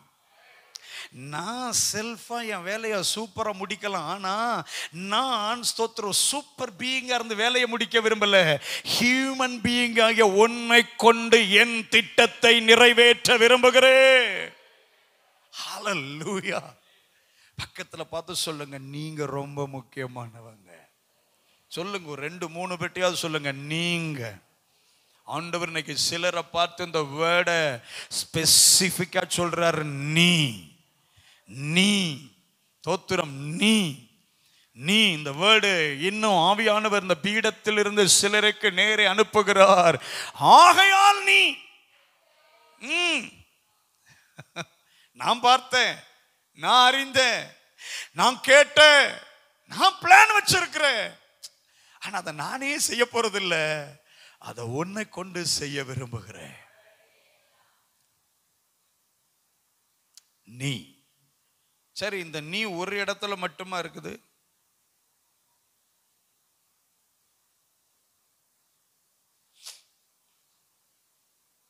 ஆண்டவர் இன்னும் சொல்றார் பாருங்க. பன் நாலாம் அதிகாரம் பன்னெண்டாவது வசனத்தில் ஆதலால் நீ நீ கத்தர் நல்லவர். ம் மூணு பதினெட்டு. சாரி மூணு பனிரெண்டு. நீ ஆண்டவர் அந்த அந்த வார்த்தையெல்லாம் எவ்வளவு முக்கியப்படுத்துறார் பாருங்க. நீ. ஆண்டவர் சொல்றார் பிளான் என்னுடையது. பவர் என்னுடையது. ஸ்தோத்திரம். பெர்ஃபார்மன்ஸ் என்னுடையது. பெர்சன் மட்டும் நீ. எத்தனை நல்ல தேவன் பாருங்க. ஹalleluya பிளான் எனக்குள்ளது. பவர் என்னுடையது. பெர்ஃபார்மன்ஸ் நான் பண்றேன். ஆனா பர்சனா நீ நின்னா போதும். இன்னைக்கும் ஆண்டவர் இன்னைக்கு பீடத்திலிருந்து சொல்றாரு சில வாக்கு பண்ணினவைகளை சுதந்திரிப்பதற்கு நம்ம கிட்ட ஒருவேளை பலன் இல்லாம இருக்கலாம் வல்லமை இல்லாம இருக்கலாம் பிளான் இல்லாம இருக்கலாம். ஆண்டர் சொல்ற நீ ஆளா வந்து நில்லு போதும்பா. ஆளா வந்து நில்லு. ஸ்தோத்திரம். இசைக்கேல் முப்பத்தி ஏழாம் அதிகாரத்தை இன்னைக்கு காலையில் உட்காந்து வாசித்தேன் ரொம்ப ஆச்சரியமா இருந்ததுங்க. அங்கேயும் இதே வார்த்தையை சொல்றார் பாருங்க. இசைக்கேல் முப்பத்தி ஏழாம் அதிகாரம். ஆமேன். ஸ்தோத்திரம். அதனுடைய முதல் வசனத்திலேருந்தே பாருங்க. கத்துடைய கை என் மேல் அமர்ந்து கத்தர் என்னை ஆவிக்குள்ளாக்கி வெளியே கொண்டு போய் எலும்புகள் நிறைந்த ஒரு பள்ளத்தாக்கின் நடுவே நிறுத்தி என்னை அவைகளின் அருகே சுற்றி நடக்க பண்ணினார். ஸ்தோத்திரம். ஆமே இதோ பள்ளத்தாக்கின் வெட்ட வெளியிலே அந்த எலும்புகள் மா திரளாய் கிடந்தது. அவைகள் மிகவும் இப்போ பாருங்க கத்தர் கொண்டு போய் நிறுத்துறாரு பார்க்க வைக்கிறாரு. இப்போ பார்த்ததுக்கு அப்புறம் ஒரு கேள்வி கேட்கிறாரு. அவர் என்னை நோக்கி மனுபுத்திரனே இந்த எலும்புகள் உயிரடையுமா? என்று கேட்டார். அதற்கு நான் பாருங்க கேள்விக்கு பதில் என்னதான் இருந்திருக்கணும்? ஆம் அல்லது இல்லைன்னு தான் இருந்திருக்கணும். ஆனால் இவர் தீர்க்கதரிசி பார்த்தீங்களா ரொம்ப ஞானமாக பதில் சொல்கிறார் சில நேரம் நம்ம ஆண்டவற்றையும் இப்படி தான் ரொம்ப ஞானமாக பதில் சொல்லுவோம். இவர் என்ன பதில் சொல்றாரு? கத்தராகிய ஆண்டவரே தேவரீர் அதை அறிவி இது இந்த கையில் குருவியை வச்சுட்டு கேட்ட கேள்வி மாதிரி தானே குருவி உயிரோடு இருக்கா? செத்து போச்சான்னு கேட்டா நம்ம உயிரோடு இருக்குன்னு சொன்னால் நசுக்கிடுவார் ஒற்றே நசுக்கு நசுக்கிட்டு பார்த்தியா செத்துட்டுன்னு அல்லது செத்துட்டுன்னா பறக்க விட்டுட்டு பாரு பறந்து இப்படி அவர் நினைச்சிட்டு சொல்றார் தேவரீர் நீர் அதை அறிவி நாலாவது வசனத்தை பாருங்க. அதற்கு அவர் விஷயம் என்கிட்ட இருக்குன்னு நீ நினைக்காத. நீ இங்கேயும் அந்த நீ வருது பாருங்க நீ. இந்த எலும்புகளை குறித்து தீர்க்க தரிசனம் உரைத்து. நீ. ஆண்டவர் இந்த காலை வேளையில் இந்த வார்த்தையை உங்களுக்கு எனக்கு ரொம்ப முக்கியமா சொல்லுகிறார். நீங்களும் நானும் பரிதாபத்தை விட்டு வெளியே வர வேண்டியவர்கள். சாத்தான் நம்ம பயன்படக்கூடாதபடிக்கு இன்னைக்கு பரிதாபத்தினால நம்மை மூடுகிறான். உனக்கு பலன் இல்லை உனக்கு ஞானம் இல்லை உங்ககிட்ட பிளான் இல்லை. இல்ல? யூ டோன்ட் ஹாவ் பக்கா plan you don't have power நீ என்னத்தடா பெர்ஃபார்ம் பண்ணுவ? உன் பெர்ஃபார்மன்ஸ் எல்லாம் கொஞ்சம் திருப்பி பாரு. எல்லாம் தோல்வியா இருக்கு. ஸ்தோத்திரம். கத்த சொல்றாரு இங்க பெர்ஃபார்மன்ஸ் எல்லாம் வேண்டாம். எனக்கு பைபிளில் சில பரிசுத்தவான்கள் ஆண்டவர் கூப்பிடும்போது ஆச்சரியமாக இருக்குங்க. ஸ்தோத்திரம். கிதியோன கத்தர் கூப்பிடும்போது என்ன சொல்லி கூப்பிட்டாரு? பராக்கிரமசாலி. என் கேள்வி இது வரைக்கும் ஐயா என்ன பராக்கிரமம் செஞ்சார்? என்ன பராக்கிரமம் செஞ்சார்? ஒரு நாள் அதை வாசிக்கும் போது ஆண்டவர்கிட்ட கேட்டேன் அவன் என்ன பராக்கிரமம் ஆண்டவரை செஞ்சான்? சட்டுப்புட்டுன்னு பேரை கொடுத்து கூப்பிடுறீரு? பராக்கிரமசாலியன்னு. அப்போ ஆண்டவர் சொன்னார் அதாண்டா உனக்கும் எனக்கும் இருக்கிற வித்தியாசம். மனுஷன் பெர்ஃபார்மன்ஸை வச்சு ஒரு பட்டம் கொடுப்பான். நான் பட்டம் கொடுத்து பெர்ஃபார்ம் பண்ண வைக்கிறவர். ஹாலலூயா மனுஷன் நம்ம இதுவரைக்கும் என்ன செஞ்சோங்கிறத வச்சு நமக்கு ஒரு பட்டம் கொடுப்பான். ஆண்டவர் நமக்கு ஒரு பட்டத்தை கொடுத்து பெர்ஃபார்ம் பண்ண வைப்பாரு. லூயா உன்னை நான் பராக்கிரமசாலின்னு சொல்லிட்டேன். நீ பராக்கிரமசாலியாகத்தான் இருப்பாய். எவ்வளவு சூப்பரான ஆண்டவர்ல. அதனாலதான் ஆண்டவர் இன்னைக்கு சொல்றாரு பரிதாபத்தை விட்டு என்ன செஞ்சிடணும்? வெளியே வந்துடணும். நான் வயசானவங்க. அல்லது நான் இன்னும் படிக்கல. தோத்துறோம் ஆண்டவருக்கு ரொம்ப தேவை யார் தெரியுமா? பலவீனமானவர்கள் தான். ஜீரோ தான் ஆண்டவருக்கு வேணும். இன்னும் சொல்ல போனால் மைனஸ் கூட அவருக்கு வேணும். அல்ல இல்லைங்க. ஒரு ஒரு ஒரு தம்பி அப்படிதான் ஆண்டவர்கிட்ட போனாராம். ஆண்டவரே நான் அழகாக கிட்டார் வாசிப்பேன். சூப்பராக சாங் கம்போஸ் பண்ணுவேன். ஆண்டவரே நான் செம்மையாக ப்ரீச் பண்ணுவேன். ஹalleluya நான் எப்போ ஊழியத்துக்கு வரணும் அப்படின்னு? ஆண்டவர் சொன்னார்னா இந்த டேலண்ட் எல்லாம் என்னைக்கு உன்னை விட்டு போகுதோ அதுக்கப்புறம் வாங்கினார் உனக்கு ஒன்றுமே வேண்டாம். நீ ஜீரோவில் வா. உனக்கு என்ன டேலண்ட் தரணுங்கிறத நான் முடிவு பண்ணணும். உன் தாளந்துகளை வைத்து நான் உன்னை ஊழியத்தில் பயன்படுத்த போகிறது இல்ல ஊழியத்துக்கு என்ன தேவையோ அதை நான் தருவேன். ஆமேன். அல்ல லூயா பரிதாபத்தை விட்டு வெளியே வந்துடணும் மூன்றாவது அந்த வாக்கு வாக்குத்தத்தம் பண்ணப்பட்டவைகளை சுதந்திரிக்கணும்னா பாதிப்புகளை விட்டு வெளியே வந்துடணும். பாதிப்புகளை விட்டு. ஆதியாகமம் பதினேழாம் அதிகாரம். பதினேழாம் அதிகாரம். ஒன்றாவது வசனத்தில் ஆண்டவர் சொல்றாரு ஆபிராம் தொண்ணூற்றொன்பது வயதான போது கர்த்தர் ஆபிராமுக்கு தரிசனமாகி நான் சர்வ வல்லமையுள்ள தேவன். நீ எனக்கு முன்பாக நடந்து கொண்டு உத்தமனாயிரு. இப்ப சொல்றாரு இங்க பாரு. பதினாறாம் அதிகாரம் தெரியும் ஒரு பெரிய தடுமாற்றம். ஆமா ஒரு பெரிய தடுமாற்றம். கத்தர் பதினேழாம் அதிகாரத்தில் சொல்றாரு இந்த பாதிப்பை விட்டு நீ வெளியே வரணும்பா. நீ வெளியே வந்தே ஆகணும். பாதிப்பு. பாவம் என்றைக்குமே நமக்கு பாதிப்பு. தடுமாற்றம் என்றைக்குமே நமக்கு ஒரு பாதிப்பை கொடுக்கும். நம்ம புரிஞ்சுக்கணும். ஸ்தோத்திரம். அது என் பலவீனம் அது ஒரு ஓரத்தில் இருக்கணும்னு நினைக்கக்கூடாது. அதை விட்டுட்டு எழும்பியாச்சுன்னா தரிசனத்துக்குள்ள கத்தர் கொண்டு வந்துட்டாருன்னு அர்த்தம். ஆம்பரகாமே உன்னை ஒரு காரியம் பாதித்திருக்கிறது. மனைவி சொன்னா மனைவியே சொல்லிட்டா. சிலர் அப்படிதான். என் மனைவியே ஒத்துக்கொண்டு விட்டாள். ஆகினால் அது பாவம் அல்ல. ச- மனைவி என்ன கடவுளா? சில மனைவிட்ட கேட்டா நம்ம என்ன செய்யறது பாஸ்டர் அது ஒரு மனுஷன் உழைப்பில் தான் நம்ம குடும்பம் நடக்குது. அவர் உழைச்சி கொண்டு வராட்டா நம்ம குடும்பத்துக்கு ஒரு நன்மையும் இல்லை. அதனால கொஞ்சம் அப்படி இப்படி ஆம்பளைகள் இருக்கத்தான் செய்வாங்க. நம்ம அட்ஜஸ்ட் பண்ணி தான் போகணும்னு எங்கள் அம்மா சொன்னாங்க. அந்த அம்மா எதில் பாதிக்கப்பட்டுச்சோ தெரியல. அந்த அம்மா இந்த பிள்ளைக்கு இப்படி அட்வைஸ் பண்ணி விடுது. அதுக்காக இன்னைக்கு போய் சிலம்பம் பண்ணிருங்கன்னு நான் சொல்லலை. நான் சொன்னேன் பாருங்க ஆப்ரேஷன் ஜபத்தில் இறங்கிருங்கன்றேன்.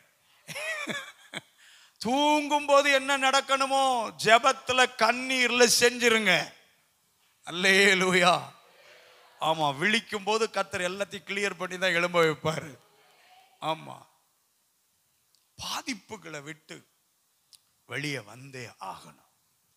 கத்தர் சொல்றாரு எனக்கு முன்பாக நடந்து கொண்டு உத்தமனாயிரு. நீ உத்தமன்கிறத நான் பார்க்கட்டுப்பா அதனால தான் அந்த பதினேழாம் அதிகாரத்தில் பாருங்க பேரே மாத்திட்டார். பேரே மாத்திட்டார். இதுவரைக்கும் ஆபிராம் இனி நீ ஆபிரகாம். அவள் இதுவரைக்கும் சாரா இனி அவள் சாராள். பேரை மாத்து பார்வையை மாத்து. உங்களை ஒருத்தர் ஒருத்தர் பார்க்குற சிந்தையை மாத்து. பழைய பேர் வேண்டாம் உனக்கு. பேர் மாத்துறது எதுக்குன்னா உன் பார்வையை மாத்துறதுக்கு தான் நம்ம ஆள் பேரெல்லாம் மாற்றி ஞானசாமி எடுத்துட்டு அதே பார்வையில் தான் இருக்கு. இன்னும் பார்வை மாறல. ஸ்தோத்திரம். ஆண்டவர் சொல்றார் பேர் எதுக்கு மாத்துது? ஸ்தோத்திரம். ஆமா ஒரு எங்க சபையில ஒரு முறை கேட்டேன் பிரதர் உங்களுக்கு தானியல்னு பேர் வைப்போமா? வேண்டாம் பாஸ்டர் டேனியல்னு வைங்க. எங்க ரெண்டுக்கும் என்னங்க வித்தியாசம்? அது தெரியல பாஸ்டர் நாங்க டேனியல்னு பேர் பிடிச்சிருக்கு. எங்க தானியல் தாங்க டேனியல். எங்க- ஆனாலும் இருக்கட்டும் பாஸ்டர் ஞானசான தொட்டில வச்சு நடக்கு. எங்க தானியல் தான் டேனியல். பரவாயில்ல பஸ் எனக்கு டேனியல் தான் வைங்க.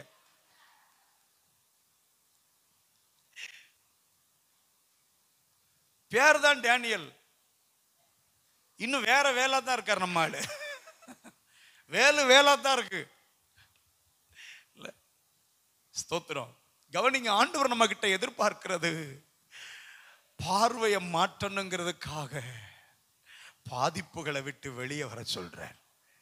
அந்த சிந்தையை விட்டே வெளியே வந்துரு. உன்னை தனிமைப்படுத்தி விடு. அந்த அந்த ரெல்முக்குள்ளே உட்காராத. ஸ்தோத்திரம். எனக்கு தாவிதிட்டு ரொம்ப பிடிச்ச காரியம் என்ன தெரியுமா? தாவிது ஜோம்ன்ற மூன்று வேளை. எதெல்லாம்? அந்தி சந்தி மத்தியானம். இப்படி சொன்னா நமக்கு புரியுதா? அந்தி சந்தி மத்தியானம்னா என்ன நேரம்லாம்? காலை மாலை மதியம். அப்படியா? சொல்லுங்க.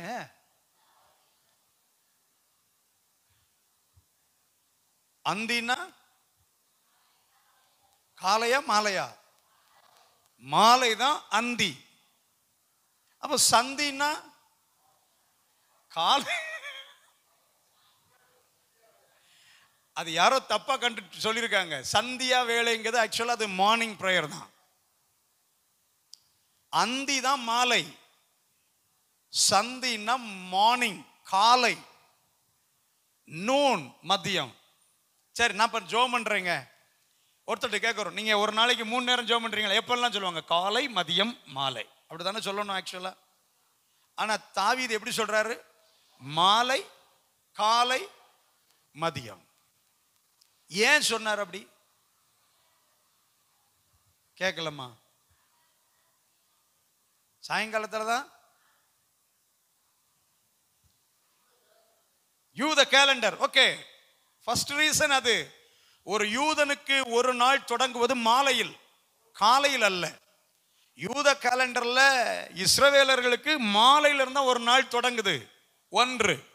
ரெண்டாவது ஒரு காரணம் இதை மாதிரி ஒரு சாயங்கால வேளையில தான் நம்ம ஆள் உப்பரிகையில் ஏறி சுற்றுனாரு அடுத்த வீட்டை எட்டி பார்த்தாரு பார்ட்டி பாவத்தில் விழுந்துச்சு.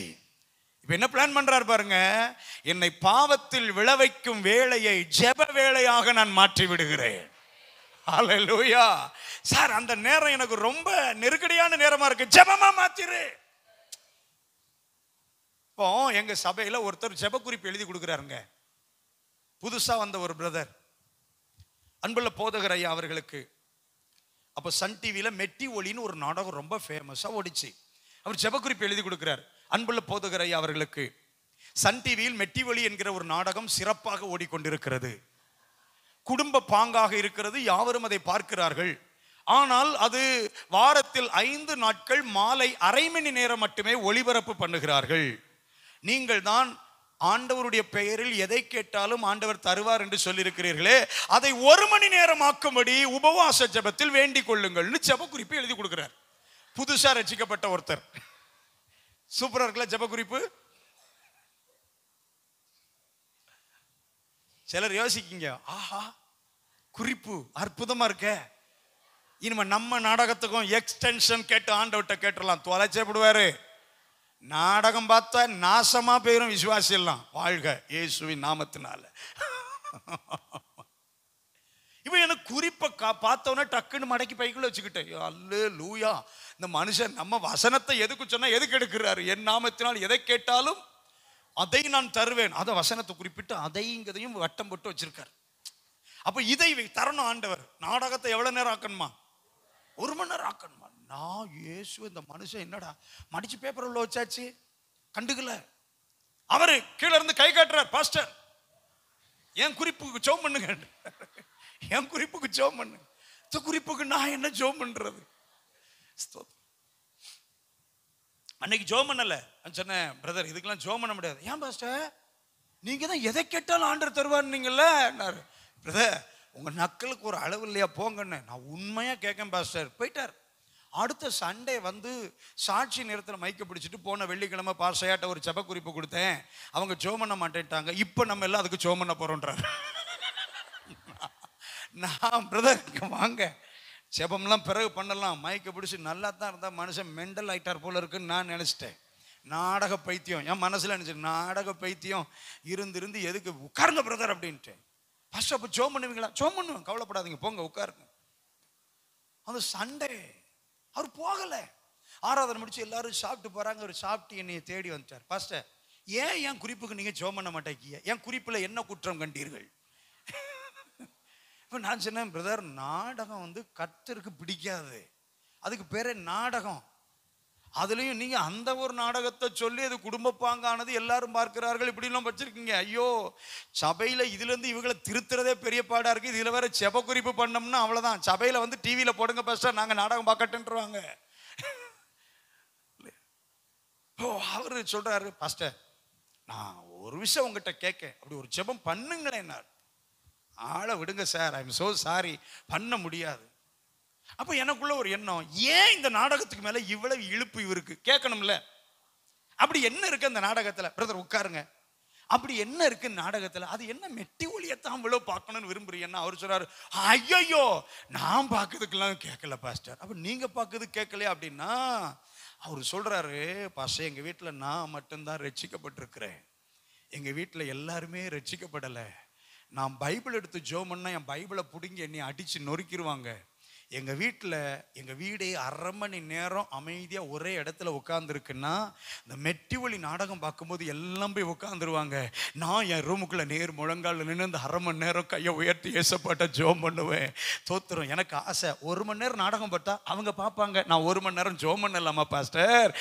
செபத்துக்காகத்தான் பாஸ்டர் இப்படி ஒரு குறிப்பு எழுதி கொடுத்தேன்னாரு பாருங்க. அல்லே லூயா எனக்கு அவரை கெட்டி பிடிச்சி அழுதுட்டு ஆண்டவரே என்ன வாஞ்ச பார்த்தீங்களா? ஆ? பார்த்து நாசமாக போகிற விசுவாசியில் இருந்தீங்கன்னா கேட்டு புரிஞ்சுக்கோங்க. ஆமாம் புதுசாக ரட்சிக்கப்பட்ட ஒரு வாலிபனுக்குள்ள விருப்பம். அந்த அரை மணி நேரம் தான் எனக்கு ஜோம் பண்ண கிடைக்குது. இன்னும் ஒரு அரை மணி நேரம் ஜெபிப்பதற்காக. அவர் அதை சொல்லியிருந்தால் நம்ம வேற மாதிரியாக ஜோம் பண்ணியிருக்கலாம். ஆனால் இவர் எழுதி கொடுத்த விதம் தான் நம்மளை வித்தியாசமாக யோசிக்க வச்சுட்டு. வாழ்க்கையில் என்றைக்குமே என்னைக்குமே பாதிக்கிறவைகளை விட்டு நம்ம வெளியே வந்துடணும் பார்வைய மாற்றிடணும் ஒரு அலேலூயா சே கத்த நல்லவ முதல்ல ஆண்டவர் நமக்கு சொல்லுகிறார் வாக்கு தத்துவங்களை நம்ம சுதந்தரிக்கணும். சுதந்தரிக்கணும். வாக்கு தத்துவங்கள் நிறைவேறுவதை காணாமல் நம்மை கத்திருந்த பூமியிலிருந்து எடுக்க போவது இல்லை. Maybe it may take years வருடங்களை எடுக்கலாம். வருஷங்கள் எடுக்கலாம். ஆனா அது நிறைவேறாம கத்தர் விட மாட்டார் நம்புறீங்களா? நம்புறவங்க மட்டும் ஒரு ஆமேன்னு சொல்லுங்களேன். உங்ககிட்ட சொன்னீங்கன்னா இல்லையான்னு தெரியல. சில நேரம் நமக்குள்ள அந்த ஒரு கேள்வி எழும்போ ஏன் ஆண்டவர் தாமதிக்கிறார்?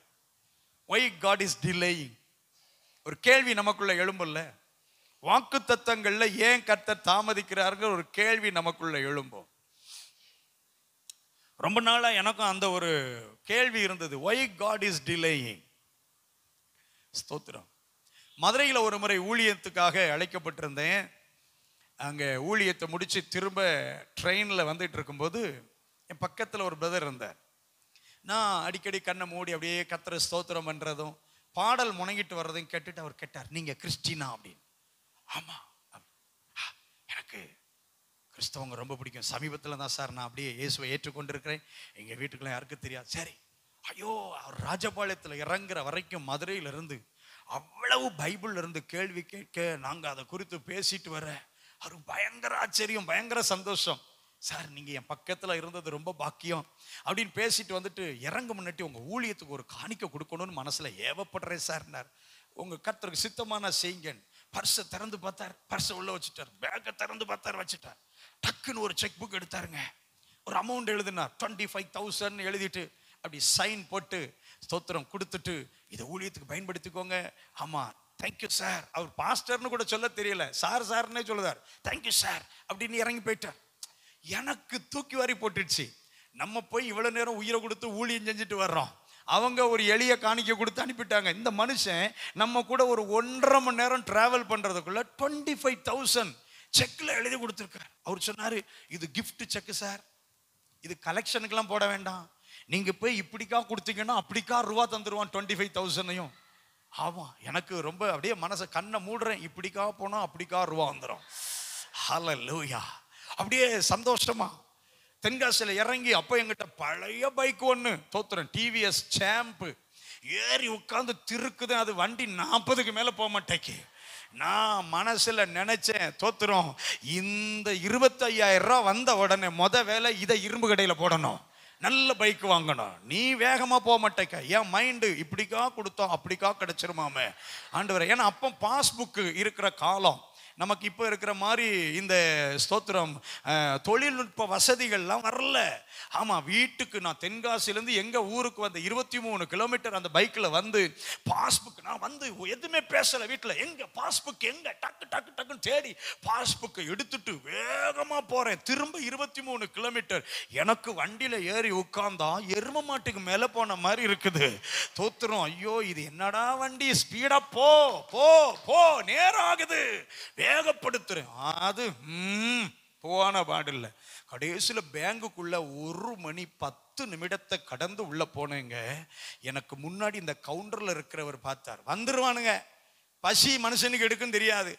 ஒரு மணிக்கு பிறகு தான் கொண்டு நீட்டுவாங்க. போ தம்பி போயிட்டு நாளைக்கு வா அப்படின்ட்டார். எனக்கு அல்ல லூயா அந்த மனுஷன் இருபத்தையாயிரம் ரூபா கொடுத்து இப்படிக்கா கொடுத்தா அப்படிக்கா வாங்கலான் இருக்காரு. இவர் கவுண்டரை பூட்டிட்டாருங்க. பூட்டிட்டு சரி திருப்பி வரும்போது அது நம்ம மேலே இறக்கப்படுவார்னு பார்த்தா அவர் போயிட்டு சொல்றார் போயிட்டு நாளைக்கு வா தம்பி. நீ மத்தியானத்துக்கு மேலே நான் லீவு சாப்பிட்டுட்டு நான் என் காரியத்தை பார்க்கணும். போயிட்டு நாளைக்கு வந்துட்டார் நான் திரும்ப போகிறேன் போகும்போது அந்த மனுஷனுடைய வரைபடம் அப்படியே என் மனசில் தோணுது. மேலே நல்ல ஒரு குங்குமம் போட்டு வச்சிருக்காரு. ஆமாம் பட்டையெல்லாம் அடிச்சிருக்காரு. அப்போ புரிஞ்சுக்கிட்டேன். அப்போ அந்தகார ஆவி நம்ம ஆசீர்வாதத்தை வாங்கக்கூடாதபடி என்ன செய்யுது? தடுக்குது. போக போக அவருக்கு ஜெபம் ஸ்தோத்திரம். அடுத்த நாள் காலையில் உங்களுக்கு தெரியுமே பத்து மணிக்கே சார் ப்ரெசன்ட் பட்டேன் பண்ணியாச்சு. உள்ளே வந்தால் ஐயா வரல. அவர் வரல. பத்து இருபத்தஞ்சுக்கு சிரிச்சுக்கிட்டே வர்றாரு. கொஞ்சம் லேட் ஆயிட்டுன்னு எனக்கு அப்படியே பொங்கிட்டு வருது. நேற்று பத்து நிமிஷத்துக்குள்ள மாட்டேன்னு போயிட்டாரு. இன்னைக்கு இருபத்தஞ்சு நிமிஷம் லேட்டு சிரிச்சுட்டே வர்றாரு. கேட்கணும்னு தோணுச்சு. முதல்ல இதை இப்படிக்கா கொடுத்து அப்படிக்கா வாங்கிக்குவோம்.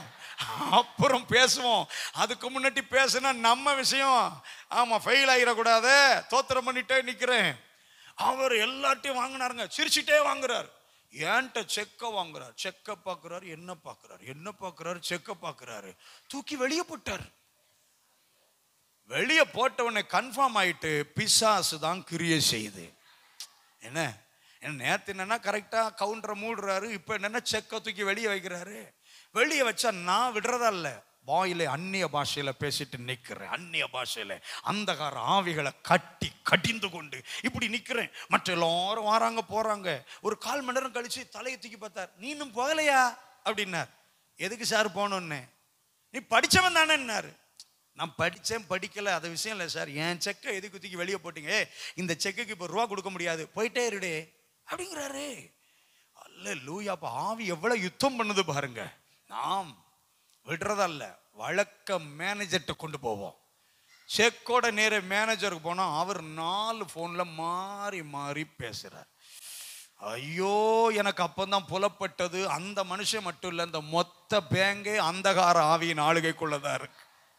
இப்போ ஜெபம் இயேசுவின் நாமத்தில் இந்த கனரா பேங்கை ஆளுகை செய்கிற பொல்லாத பிசாசு ஒன்றை கடிந்து கொள்ளுகிறோம் அப்படின்னு அங்கே நின்று அந்நிய பாஷையில் ஜெபம். நான் பல்ல கடிச்சிட்டு நிற்கிறத பார்த்துட்டு இவர் வச்சுட்டு என்ன தம்பி என்ன விசேஷம்? பல்ல கடிச்சிட்டு நிற்கிங்கன்னு ஒன்றும் இல்லை சார் உங்கள் பேங்குடைய லட்சணம் இப்படி இருக்கு. அப்படின்னு. என்னாச்சு? அப்படின்னார். நேத்தையிலேருந்து கதையை தொடங்கினேன். இல்லையே அவர் தங்கமான மனுஷனே. அப்படி செக்க தூக்கி போடுறவர் தான் உங்களுக்கு தங்கமான மனுஷன். அப்படின்னு மனசில் நினச்சிக்கிட்டோம். தோத்துறோம். நமக்கு விஷயம். இப்படிக்கா கொடுத்து அப்படிக்கா ரூபாயை வாங்குறதா அது வரைக்கும் நீர் என்ன பேசினாலும் அமைதியாக இருப்பேன் அவர்கிட்ட எல்லா விவரத்தையும் சொன்னேன். அவர் செக்கை பார்த்துட்டு ஆமாம் தம்பி இந்த செக்குக்கு இப்போ தர முடியாதுன்னாரு பாருங்க எனக்கு டென்ஷன் ஆயிட்டு. சார் ஒரு அளவு தான் சார் இருக்கு. நீங்க பொறுமையெல்லாம் சோதிக்க கூடாது. செக்கு ஒருத்தர் கொடுத்துருக்காரு எம் எங்க பேரை போட்டிருக்காரு சைன் பண்ணியிருக்கிறாரு எல்லாம் கொடுத்துரு அமௌண்ட் எழுதியிருக்கிறாரு. அது என்ன சார் கொடுக்க முடியாதுன்றீங்க? அவர் உட்காருங்க தம்பின்னு சொல்லிட்டு ஒரு டம்ளரில் தண்ணி கொடுத்து குடிக்க சொல்லிட்டு ஆஸ்வாசப்பட்டுட்டீங்களா சொல்லுங்க சொல்லுங்க நீங்க சொல்லுங்க. ஏதோ ஒரு விளக்கம் சொல்ல போறிய நாங்க கேட்டு தானே சார் தீரணும். என்னன்னா நீங்க மேனேஜரா இருக்கே பேங்க் நடத்துறிய செக்கு வேற உங்க பேங்குக்குன்னு கொடுத்து தொலைச்சு விட்டாங்க. அப்படின்ட்டு நான் ரொம்ப விரக்தியோட பேசுறேன். அவரு தம்பி இங்க நீங்க கவலைப்பட்டு கஷ்டப்பட்டுலாம் ஒன்றும் பிரயோஜனம் இல்லை. பொறுங்க சொல்றேன். அமௌண்ட் எழுதியிருக்கா? எழுதியிருக்கு சார். டுவெண்ட்டி ஃபைவ் தௌசண்ட் சரி. கையெழுத்து போட்டிருக்காரா? போ சார் போட்டிருக்காரு சார். இதை தானே நீங்கள் பார்த்தீங்க? மேலே டேட்டுன்னு ஒன்று இருக்கு நீங்கள் அதை பார்த்தீங்களா அப்படின்னா. டேட்டு எனக்கு எதுக்கு சார்ன்னு கேட்டேன். எனக்கு தேவை இருபத்தையாயிரம் தானே? எனக்கு எதுக்கு டேட்டு? அவர் சொன்னார் உங்களுக்கு அமௌண்ட் முக்கியம் எனக்கு டேட்டு தான் முக்கியம். சரி என்னன்னு பார்த்தா பத்தொம்போது ஒம்பது அப்படின்னு போட்டிருந்தார் அவர். நான் போயிருந்தது பத்தொம்போது ஆறு. அவர் சொன்னார் தம்பி இது கிஃப்ட் செக்கு கலெக்ஷன்லாம் போக வேண்டாம். பத்தொன்பதாம் தேதி ஒன்பதாம் மாதம் வந்தீங்கன்னா அந்த கவுண்டரில் உட்காந்துருக்கிறவர் இப்படிக்கா வாங்கி அப்படிக்கா உங்களை கொடுத்துருவாரு இப்போ திரும்பி வீட்டுக்கு போகும்போது யாருக்கு ஜோம் பண்ணியிருப்பேன்னு நினைக்கீங்க? எனக்கு அறிவு கிட்ட பயல. இல்லை இவ்வளோ படிச்சிருக்கேன். ஊழியம்னு செய்தியடா உன் கண்ணு பணத்தில் தானே இருக்கு. எடா டேட்டை பார்த்தியா நீ? தேதியை பார்த்தியா நீ? பார்க்கலையே.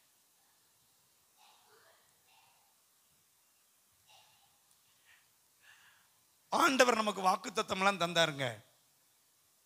வாக்குத்தத்தம் தந்தார். வசனம் தந்தார் இருப்பிடம் தந்தார். டேட் மட்டும் அவர் வச்சிருக்கார். அதாங்க விஷயமே. நம்ம ரெண்டாயிரத்தி இருபத்தி நாலுன்னு போட்டோம். இப்போ யோசேப்பு கிட்ட என்ன பிரச்சனை? இவனுடைய அரிக்கட்டுகள் நின்றது மற்ற எல்லாம் வழங்கினது. அடுத்த நாளே கூப்பிட்டான் ஏ அண்ணவா தான் வா நப்தலி வா ஏ செபுலன் வா ஏ ரூபன் வா வா வா டே வந்தீங்களா எல்லாரும் என்னுடைய அறிக்கட்டு மட்டும் நின்றது உங்கள் அரிக்கட்டு நின்றது ஆண்டவர் தலையில் அடிச்சார். ஆடா பாவிடே நான் உனக்கு சொப்பனம் தந்தேன் அது எப்போன்னு சொல்லலேடா இவர் அடுத்த நாள்னே நினச்சிட்டார். சரி இனிமையாவது அமைதியாக இருப்பான் ரெண்டாவது ஒரு சொப்பனம் கொடுத்தா இப்போ அப்பாவை கூப்பிட்டான். டாடி கமான் சூரியனும் சந்திரனும் நட்சத்திரங்களும். இவன் நினைச்சான் சூரியன் சந்திரன்னா அப்பா அம்மா. அவங்க அப்பாவே நினைச்சார் நான் உண்மையிலே ஆண்டவர் சூரியன் சந்திரன் சொன்னது அப்பா அம்மா இல்ல. யோசைப்பை போய் எல்லாரும் சந்திக்கும் போது அப்பா போனார் ஆனால் அம்மா இல்லை. ஆண்டவர் சூரியன் சந்திரன் சொன்னது யோசைப்புக்கு பிறக்க போகிற ரெண்டு குமாரர்களை ஆக்கும். தரிசனத்துக்குள்ள தலைமுறைகளையே வச்சு சொன்னார். நம்ம ஆளு ஓட்ட வாய் திறந்தார் பார்த்தீங்களா கத்த சொன்னார் இனி உனக்கு சொப்பனம் இல்லை. சிலருக்கு இப்பதான் புரியுது. என்கிட்ட கத்தர் முந்தி சொப்பனம் சொப்பனமா பேசுவார்? வாயை பொத்திட்டு இருந்திருக்கணும். வாயை பொத்திட்டு இருந்திருக்கணும். உடனே புருஷன் ஒப்பிக்கிறது உடனே அவர் சபையில் அடுத்த வாரம் நான் கடந்த வெள்ளிக்கிழமை தூங்கி கொண்டது போது கத்தர் ஐயே. இது அமைதியா வச்சு இதுக்கு தன்னை ஆயத்தப்படுத்தும்னு பார்த்தா பார்த்தார் இவனை இனி இங்க வைக்கப்படாது. எகிப்துக்கு தூக்கிட்டு போயிட வேண்டியதான் எங்கேயாவது. அல்லே லூயா சிலருக்கு இப்போ தான் புரியுது ஏன்டா நம்மளை இஸ்ரேல்ல இருந்து எகிப்துக்கு தூக்கிட்டு போனார்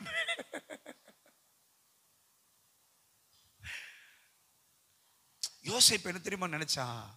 சொப்பனம் நாளைக்கு நிறைவேற போகுது. ஆண்டவர் சொப்பனத்தை கொடுத்தாரு. ஆனா யோசிப்பின் சொப்பனம் எத்தனை வருஷத்துக்கு அப்புறம் நிறைவேறிச்சு? கணக்கு பாக்கீங்க வாழ்க எனக்கு தெரியுது நீங்க கணக்கு பாக்கீங்க. எத்தனை வருஷத்துக்கு பிறகு நிறைவேறிச்சு? இருபது வருஷமா?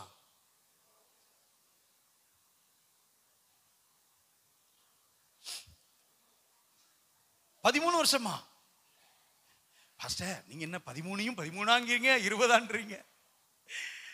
இருபது ஓரளவு கிட்ட. என்ன? ஏன்னா பதிமூணு வருஷத்துக்கு அப்புறம் பார்வோனுக்கு முன்னாடி நின்னாரு. அடுத்த அஞ்சு வருஷம் பரிபூரண விளைச்சல். அன்னைமார் வரல. சொப்பனம் பார்வோன் வணங்குவான் என்பதல்ல. சொப்பனம் அன்னம்மார் வரணும். அந்த ஏழு வருஷ பரிபூரணத்துக்கு அப்புறம் ரெண்டு வருஷம் கொடும் பஞ்சத்துக்கு அப்புறம் தான் பார்ட்டி வருது. அப்போ பதிமூணு பிளஸ் ஏழு இருபது இருபத்தி ரெண்டு வருஷத்துக்கு பிறகு அத்தாடி ரெண்டாயிரத்தி இருபத்தி நாலில் வாக்கு தத்தத்தை வாங்கி வச்சுக்கிட்டு ஒன்பதாவது மாதம் முடிய போகுது நிறைவேற்றுவேன். கத்து ரெண்டாயிரத்தி இருபத்தி நாலுக்கு பக்கத்தில் பிளஸ் டுவெண்ட்டி டூன்னு ஒன்று போட்டிருப்பார் யாருக்கு தெரியும்? நம்ம இருபத்தி மூணுல நிறைவேறலன்னு பழையன கழிதலும் புதியன புகுதலும். அடுத்த வருஷத்துக்காவது நல்ல சீட்டா எடுத்து எனக்கு போடுங்க ஆண்டவர்.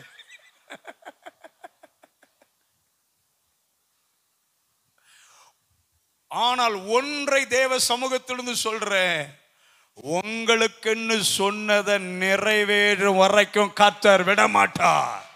வாக்கினால் சொன்னதை கரத்தினால் நிறைவேற்றுவார்.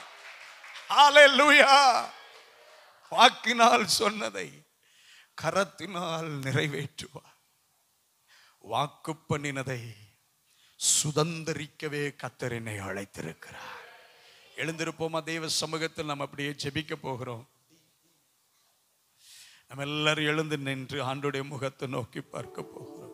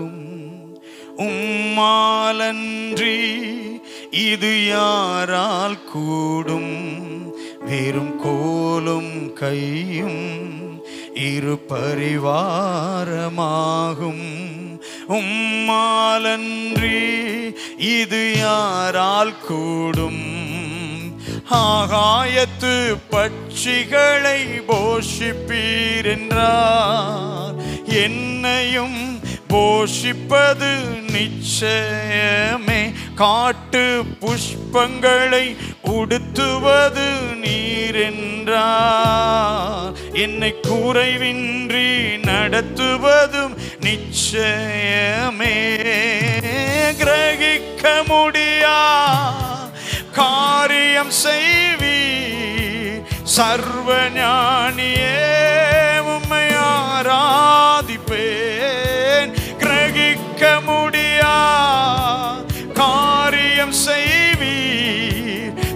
சர்வ ஞானியே உம்மை ஆராதிப்பேன்.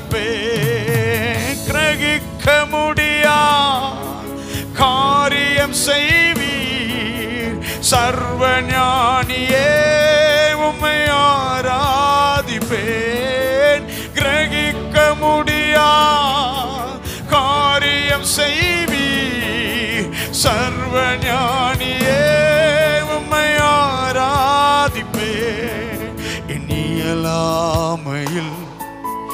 செயல்படுவி உம் கரம் என்னை விலகாதிருக்கும். என் இயலாமையில் நீர் செயல்படுவி உம் கரம் என்னை விலகாதிருக்கும். மலைகளை பெயர்ப்பீரென்றா தடைகள் நமக்கு எம்மாத்திரம் மறித்தோரை எழச் செய்வீரென்றார் என் நோய்கள் உமக்கு எம்மாத்திரம் ஓ கிரகிக்க முடியா? காரியம் செய்வீர். சர்வ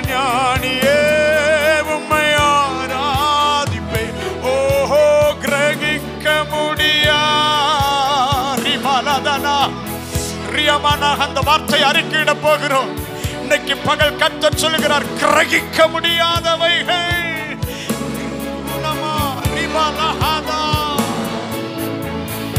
ஓ சர்வ ஞானியே உம்மை ஆராதிப்பே. இந்தேவன் எனக்கா ஏதாகிலும் செய்திடுவார் என்றாகிலும் என்னை மறந்தது உண்டா? ஓ ஏதாகிலும் செய்திடுவார் என்றாகிலும் என்னை மறந்தது மறுபடி என் தேவன் என் தேவன் எனக்காய் ஏதாகிலும் செய்திடுவார் என்றாகிலும் என்னை மறந்தது உண்டா? கத்த சொல்ற நான் உன்னை மறக்கல. என் நினைவிலே தான் இருக்கிற குறித்த காலம் வரைக்கும். என் தேவன் எனக்கா ஏதாகிலும் செய்திடுவார் என்றாகிலும் என்னை மறந்தது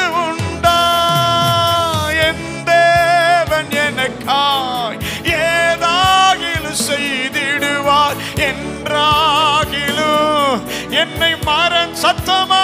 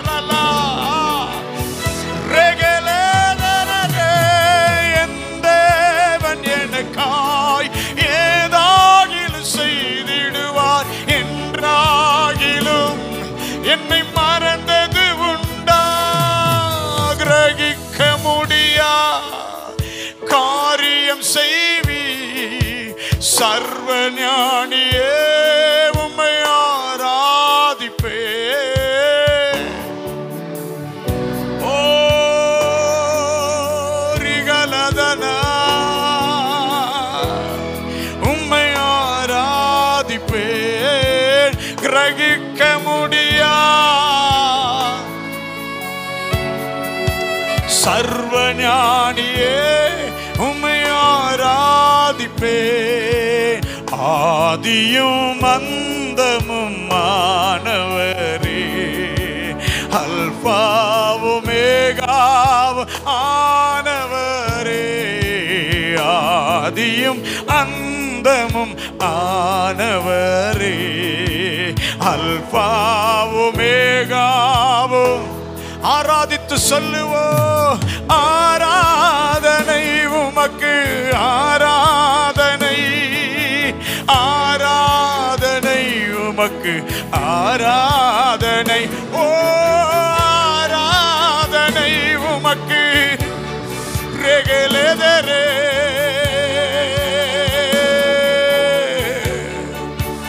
ஹalleluya தர்மியான பகல் வேளையில பரிசுத்தாவியானவர் நமக்கு சொல்லுகிறார்.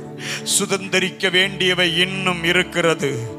சுதந்தரிக்க வேண்டியவை இன்னும் இருக்கிறது. வாக்கு தத்தம் பண்ணப்பட்டவைகளை சுதந்திரிக்க போகிறோ. நல்ல கரங்களை தட்டி சொன்னதை செய்யும் அளவு என்னை என் தகப்பன் கைவிடுவதே இல்லை.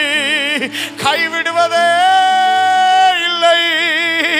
நிச்சயமாய் நிறைவேற்றுவார். நிறைவேற்றுவார் பயத்தை விட்டு வெளியே வருகிறேன். பரிதாபத்தை விட்டு வெளியே வருகிறேன். பாதிப்பவைகளை விட்டு வெளியே வருகிறேன். அன்று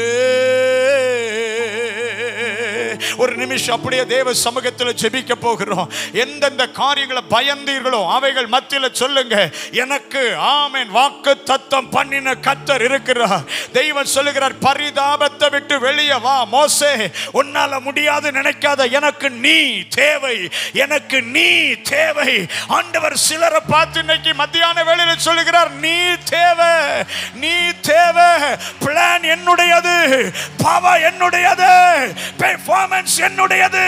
நீ பெர்சனா வந்து நின்னா போதும் ஆனா வந்து நின்னா போதும் அழைப்பை நம்பி வந்து நின்னா போதும் அர்ப்பணிப்போடு நின்னா போதும் லபப லப ரகதன மணி அந்த லகத ரபன ஹத்தல ரபஹா லே ரெக்கே தெலரே நல்ல அந்நிய பாஷையில சில நிமிடங்கள் ஆவில நிரம்பி ஆவில நிரம்பி சிலரை இந்த பகல் கத்தர் வெளியே கொண்டு வருகிறார் வெளியே கொண்டு வருகிறார். ஆவில காண்கிற சிலரை சில கூடாரத்தை விட்டு தோல்வியின் கூடாரத்தை விட்டு இழப்புகளின் நினைவுகளின் கூடாரத்தை விட்டு யூ ஆர் கம்மிங் அவுட் வெளியே கொண்டு வருகிறார். வெளியே கொண்டு வருகிறார். வெளியே கொண்டு வருகிறார். கத்த சொல்லுகிறார் இனி நீ இல்லாமைய பார்க்க போகிறதில்ல. இனி உன் கண்களை திறந்து நீ பார்க்க வேண்டியவைகளை பார்க்க. லாரபா நகந்தரபா நிமரகதா லியரபா லேகே பெஷேக்கத்து எந்த ரபலகது எந்த ரபா. இன்னும் செபி இன்னும் செபி ஏன் இன்னும் செபிக்கணுமா இன்னும் சுதந்திரிக்க வேண்டிய வாக்கு தத்தங்கள் இருக்கு. ஆண்டவர் சொல்றார் உனக்கு இதுவரை நிறைவேறாத அத்தனை வாக்கு தத்தமும் நிறைவேறும் வரைக்கும் உன்னை பூமியிலிருந்து எடுக்க மாட்டேன். பூமியிலிருந்து நீ எடுக்கப்படுவதில்லை. உன் கண்கள் காணும் காதுகள் கேட்ட வார்த்தைகளை ஆவியிலே நான் உனக்கு அடையாளமிட்டு தந்த வார்த்தைகளை கண்களால் காண பண்ணுவேன்.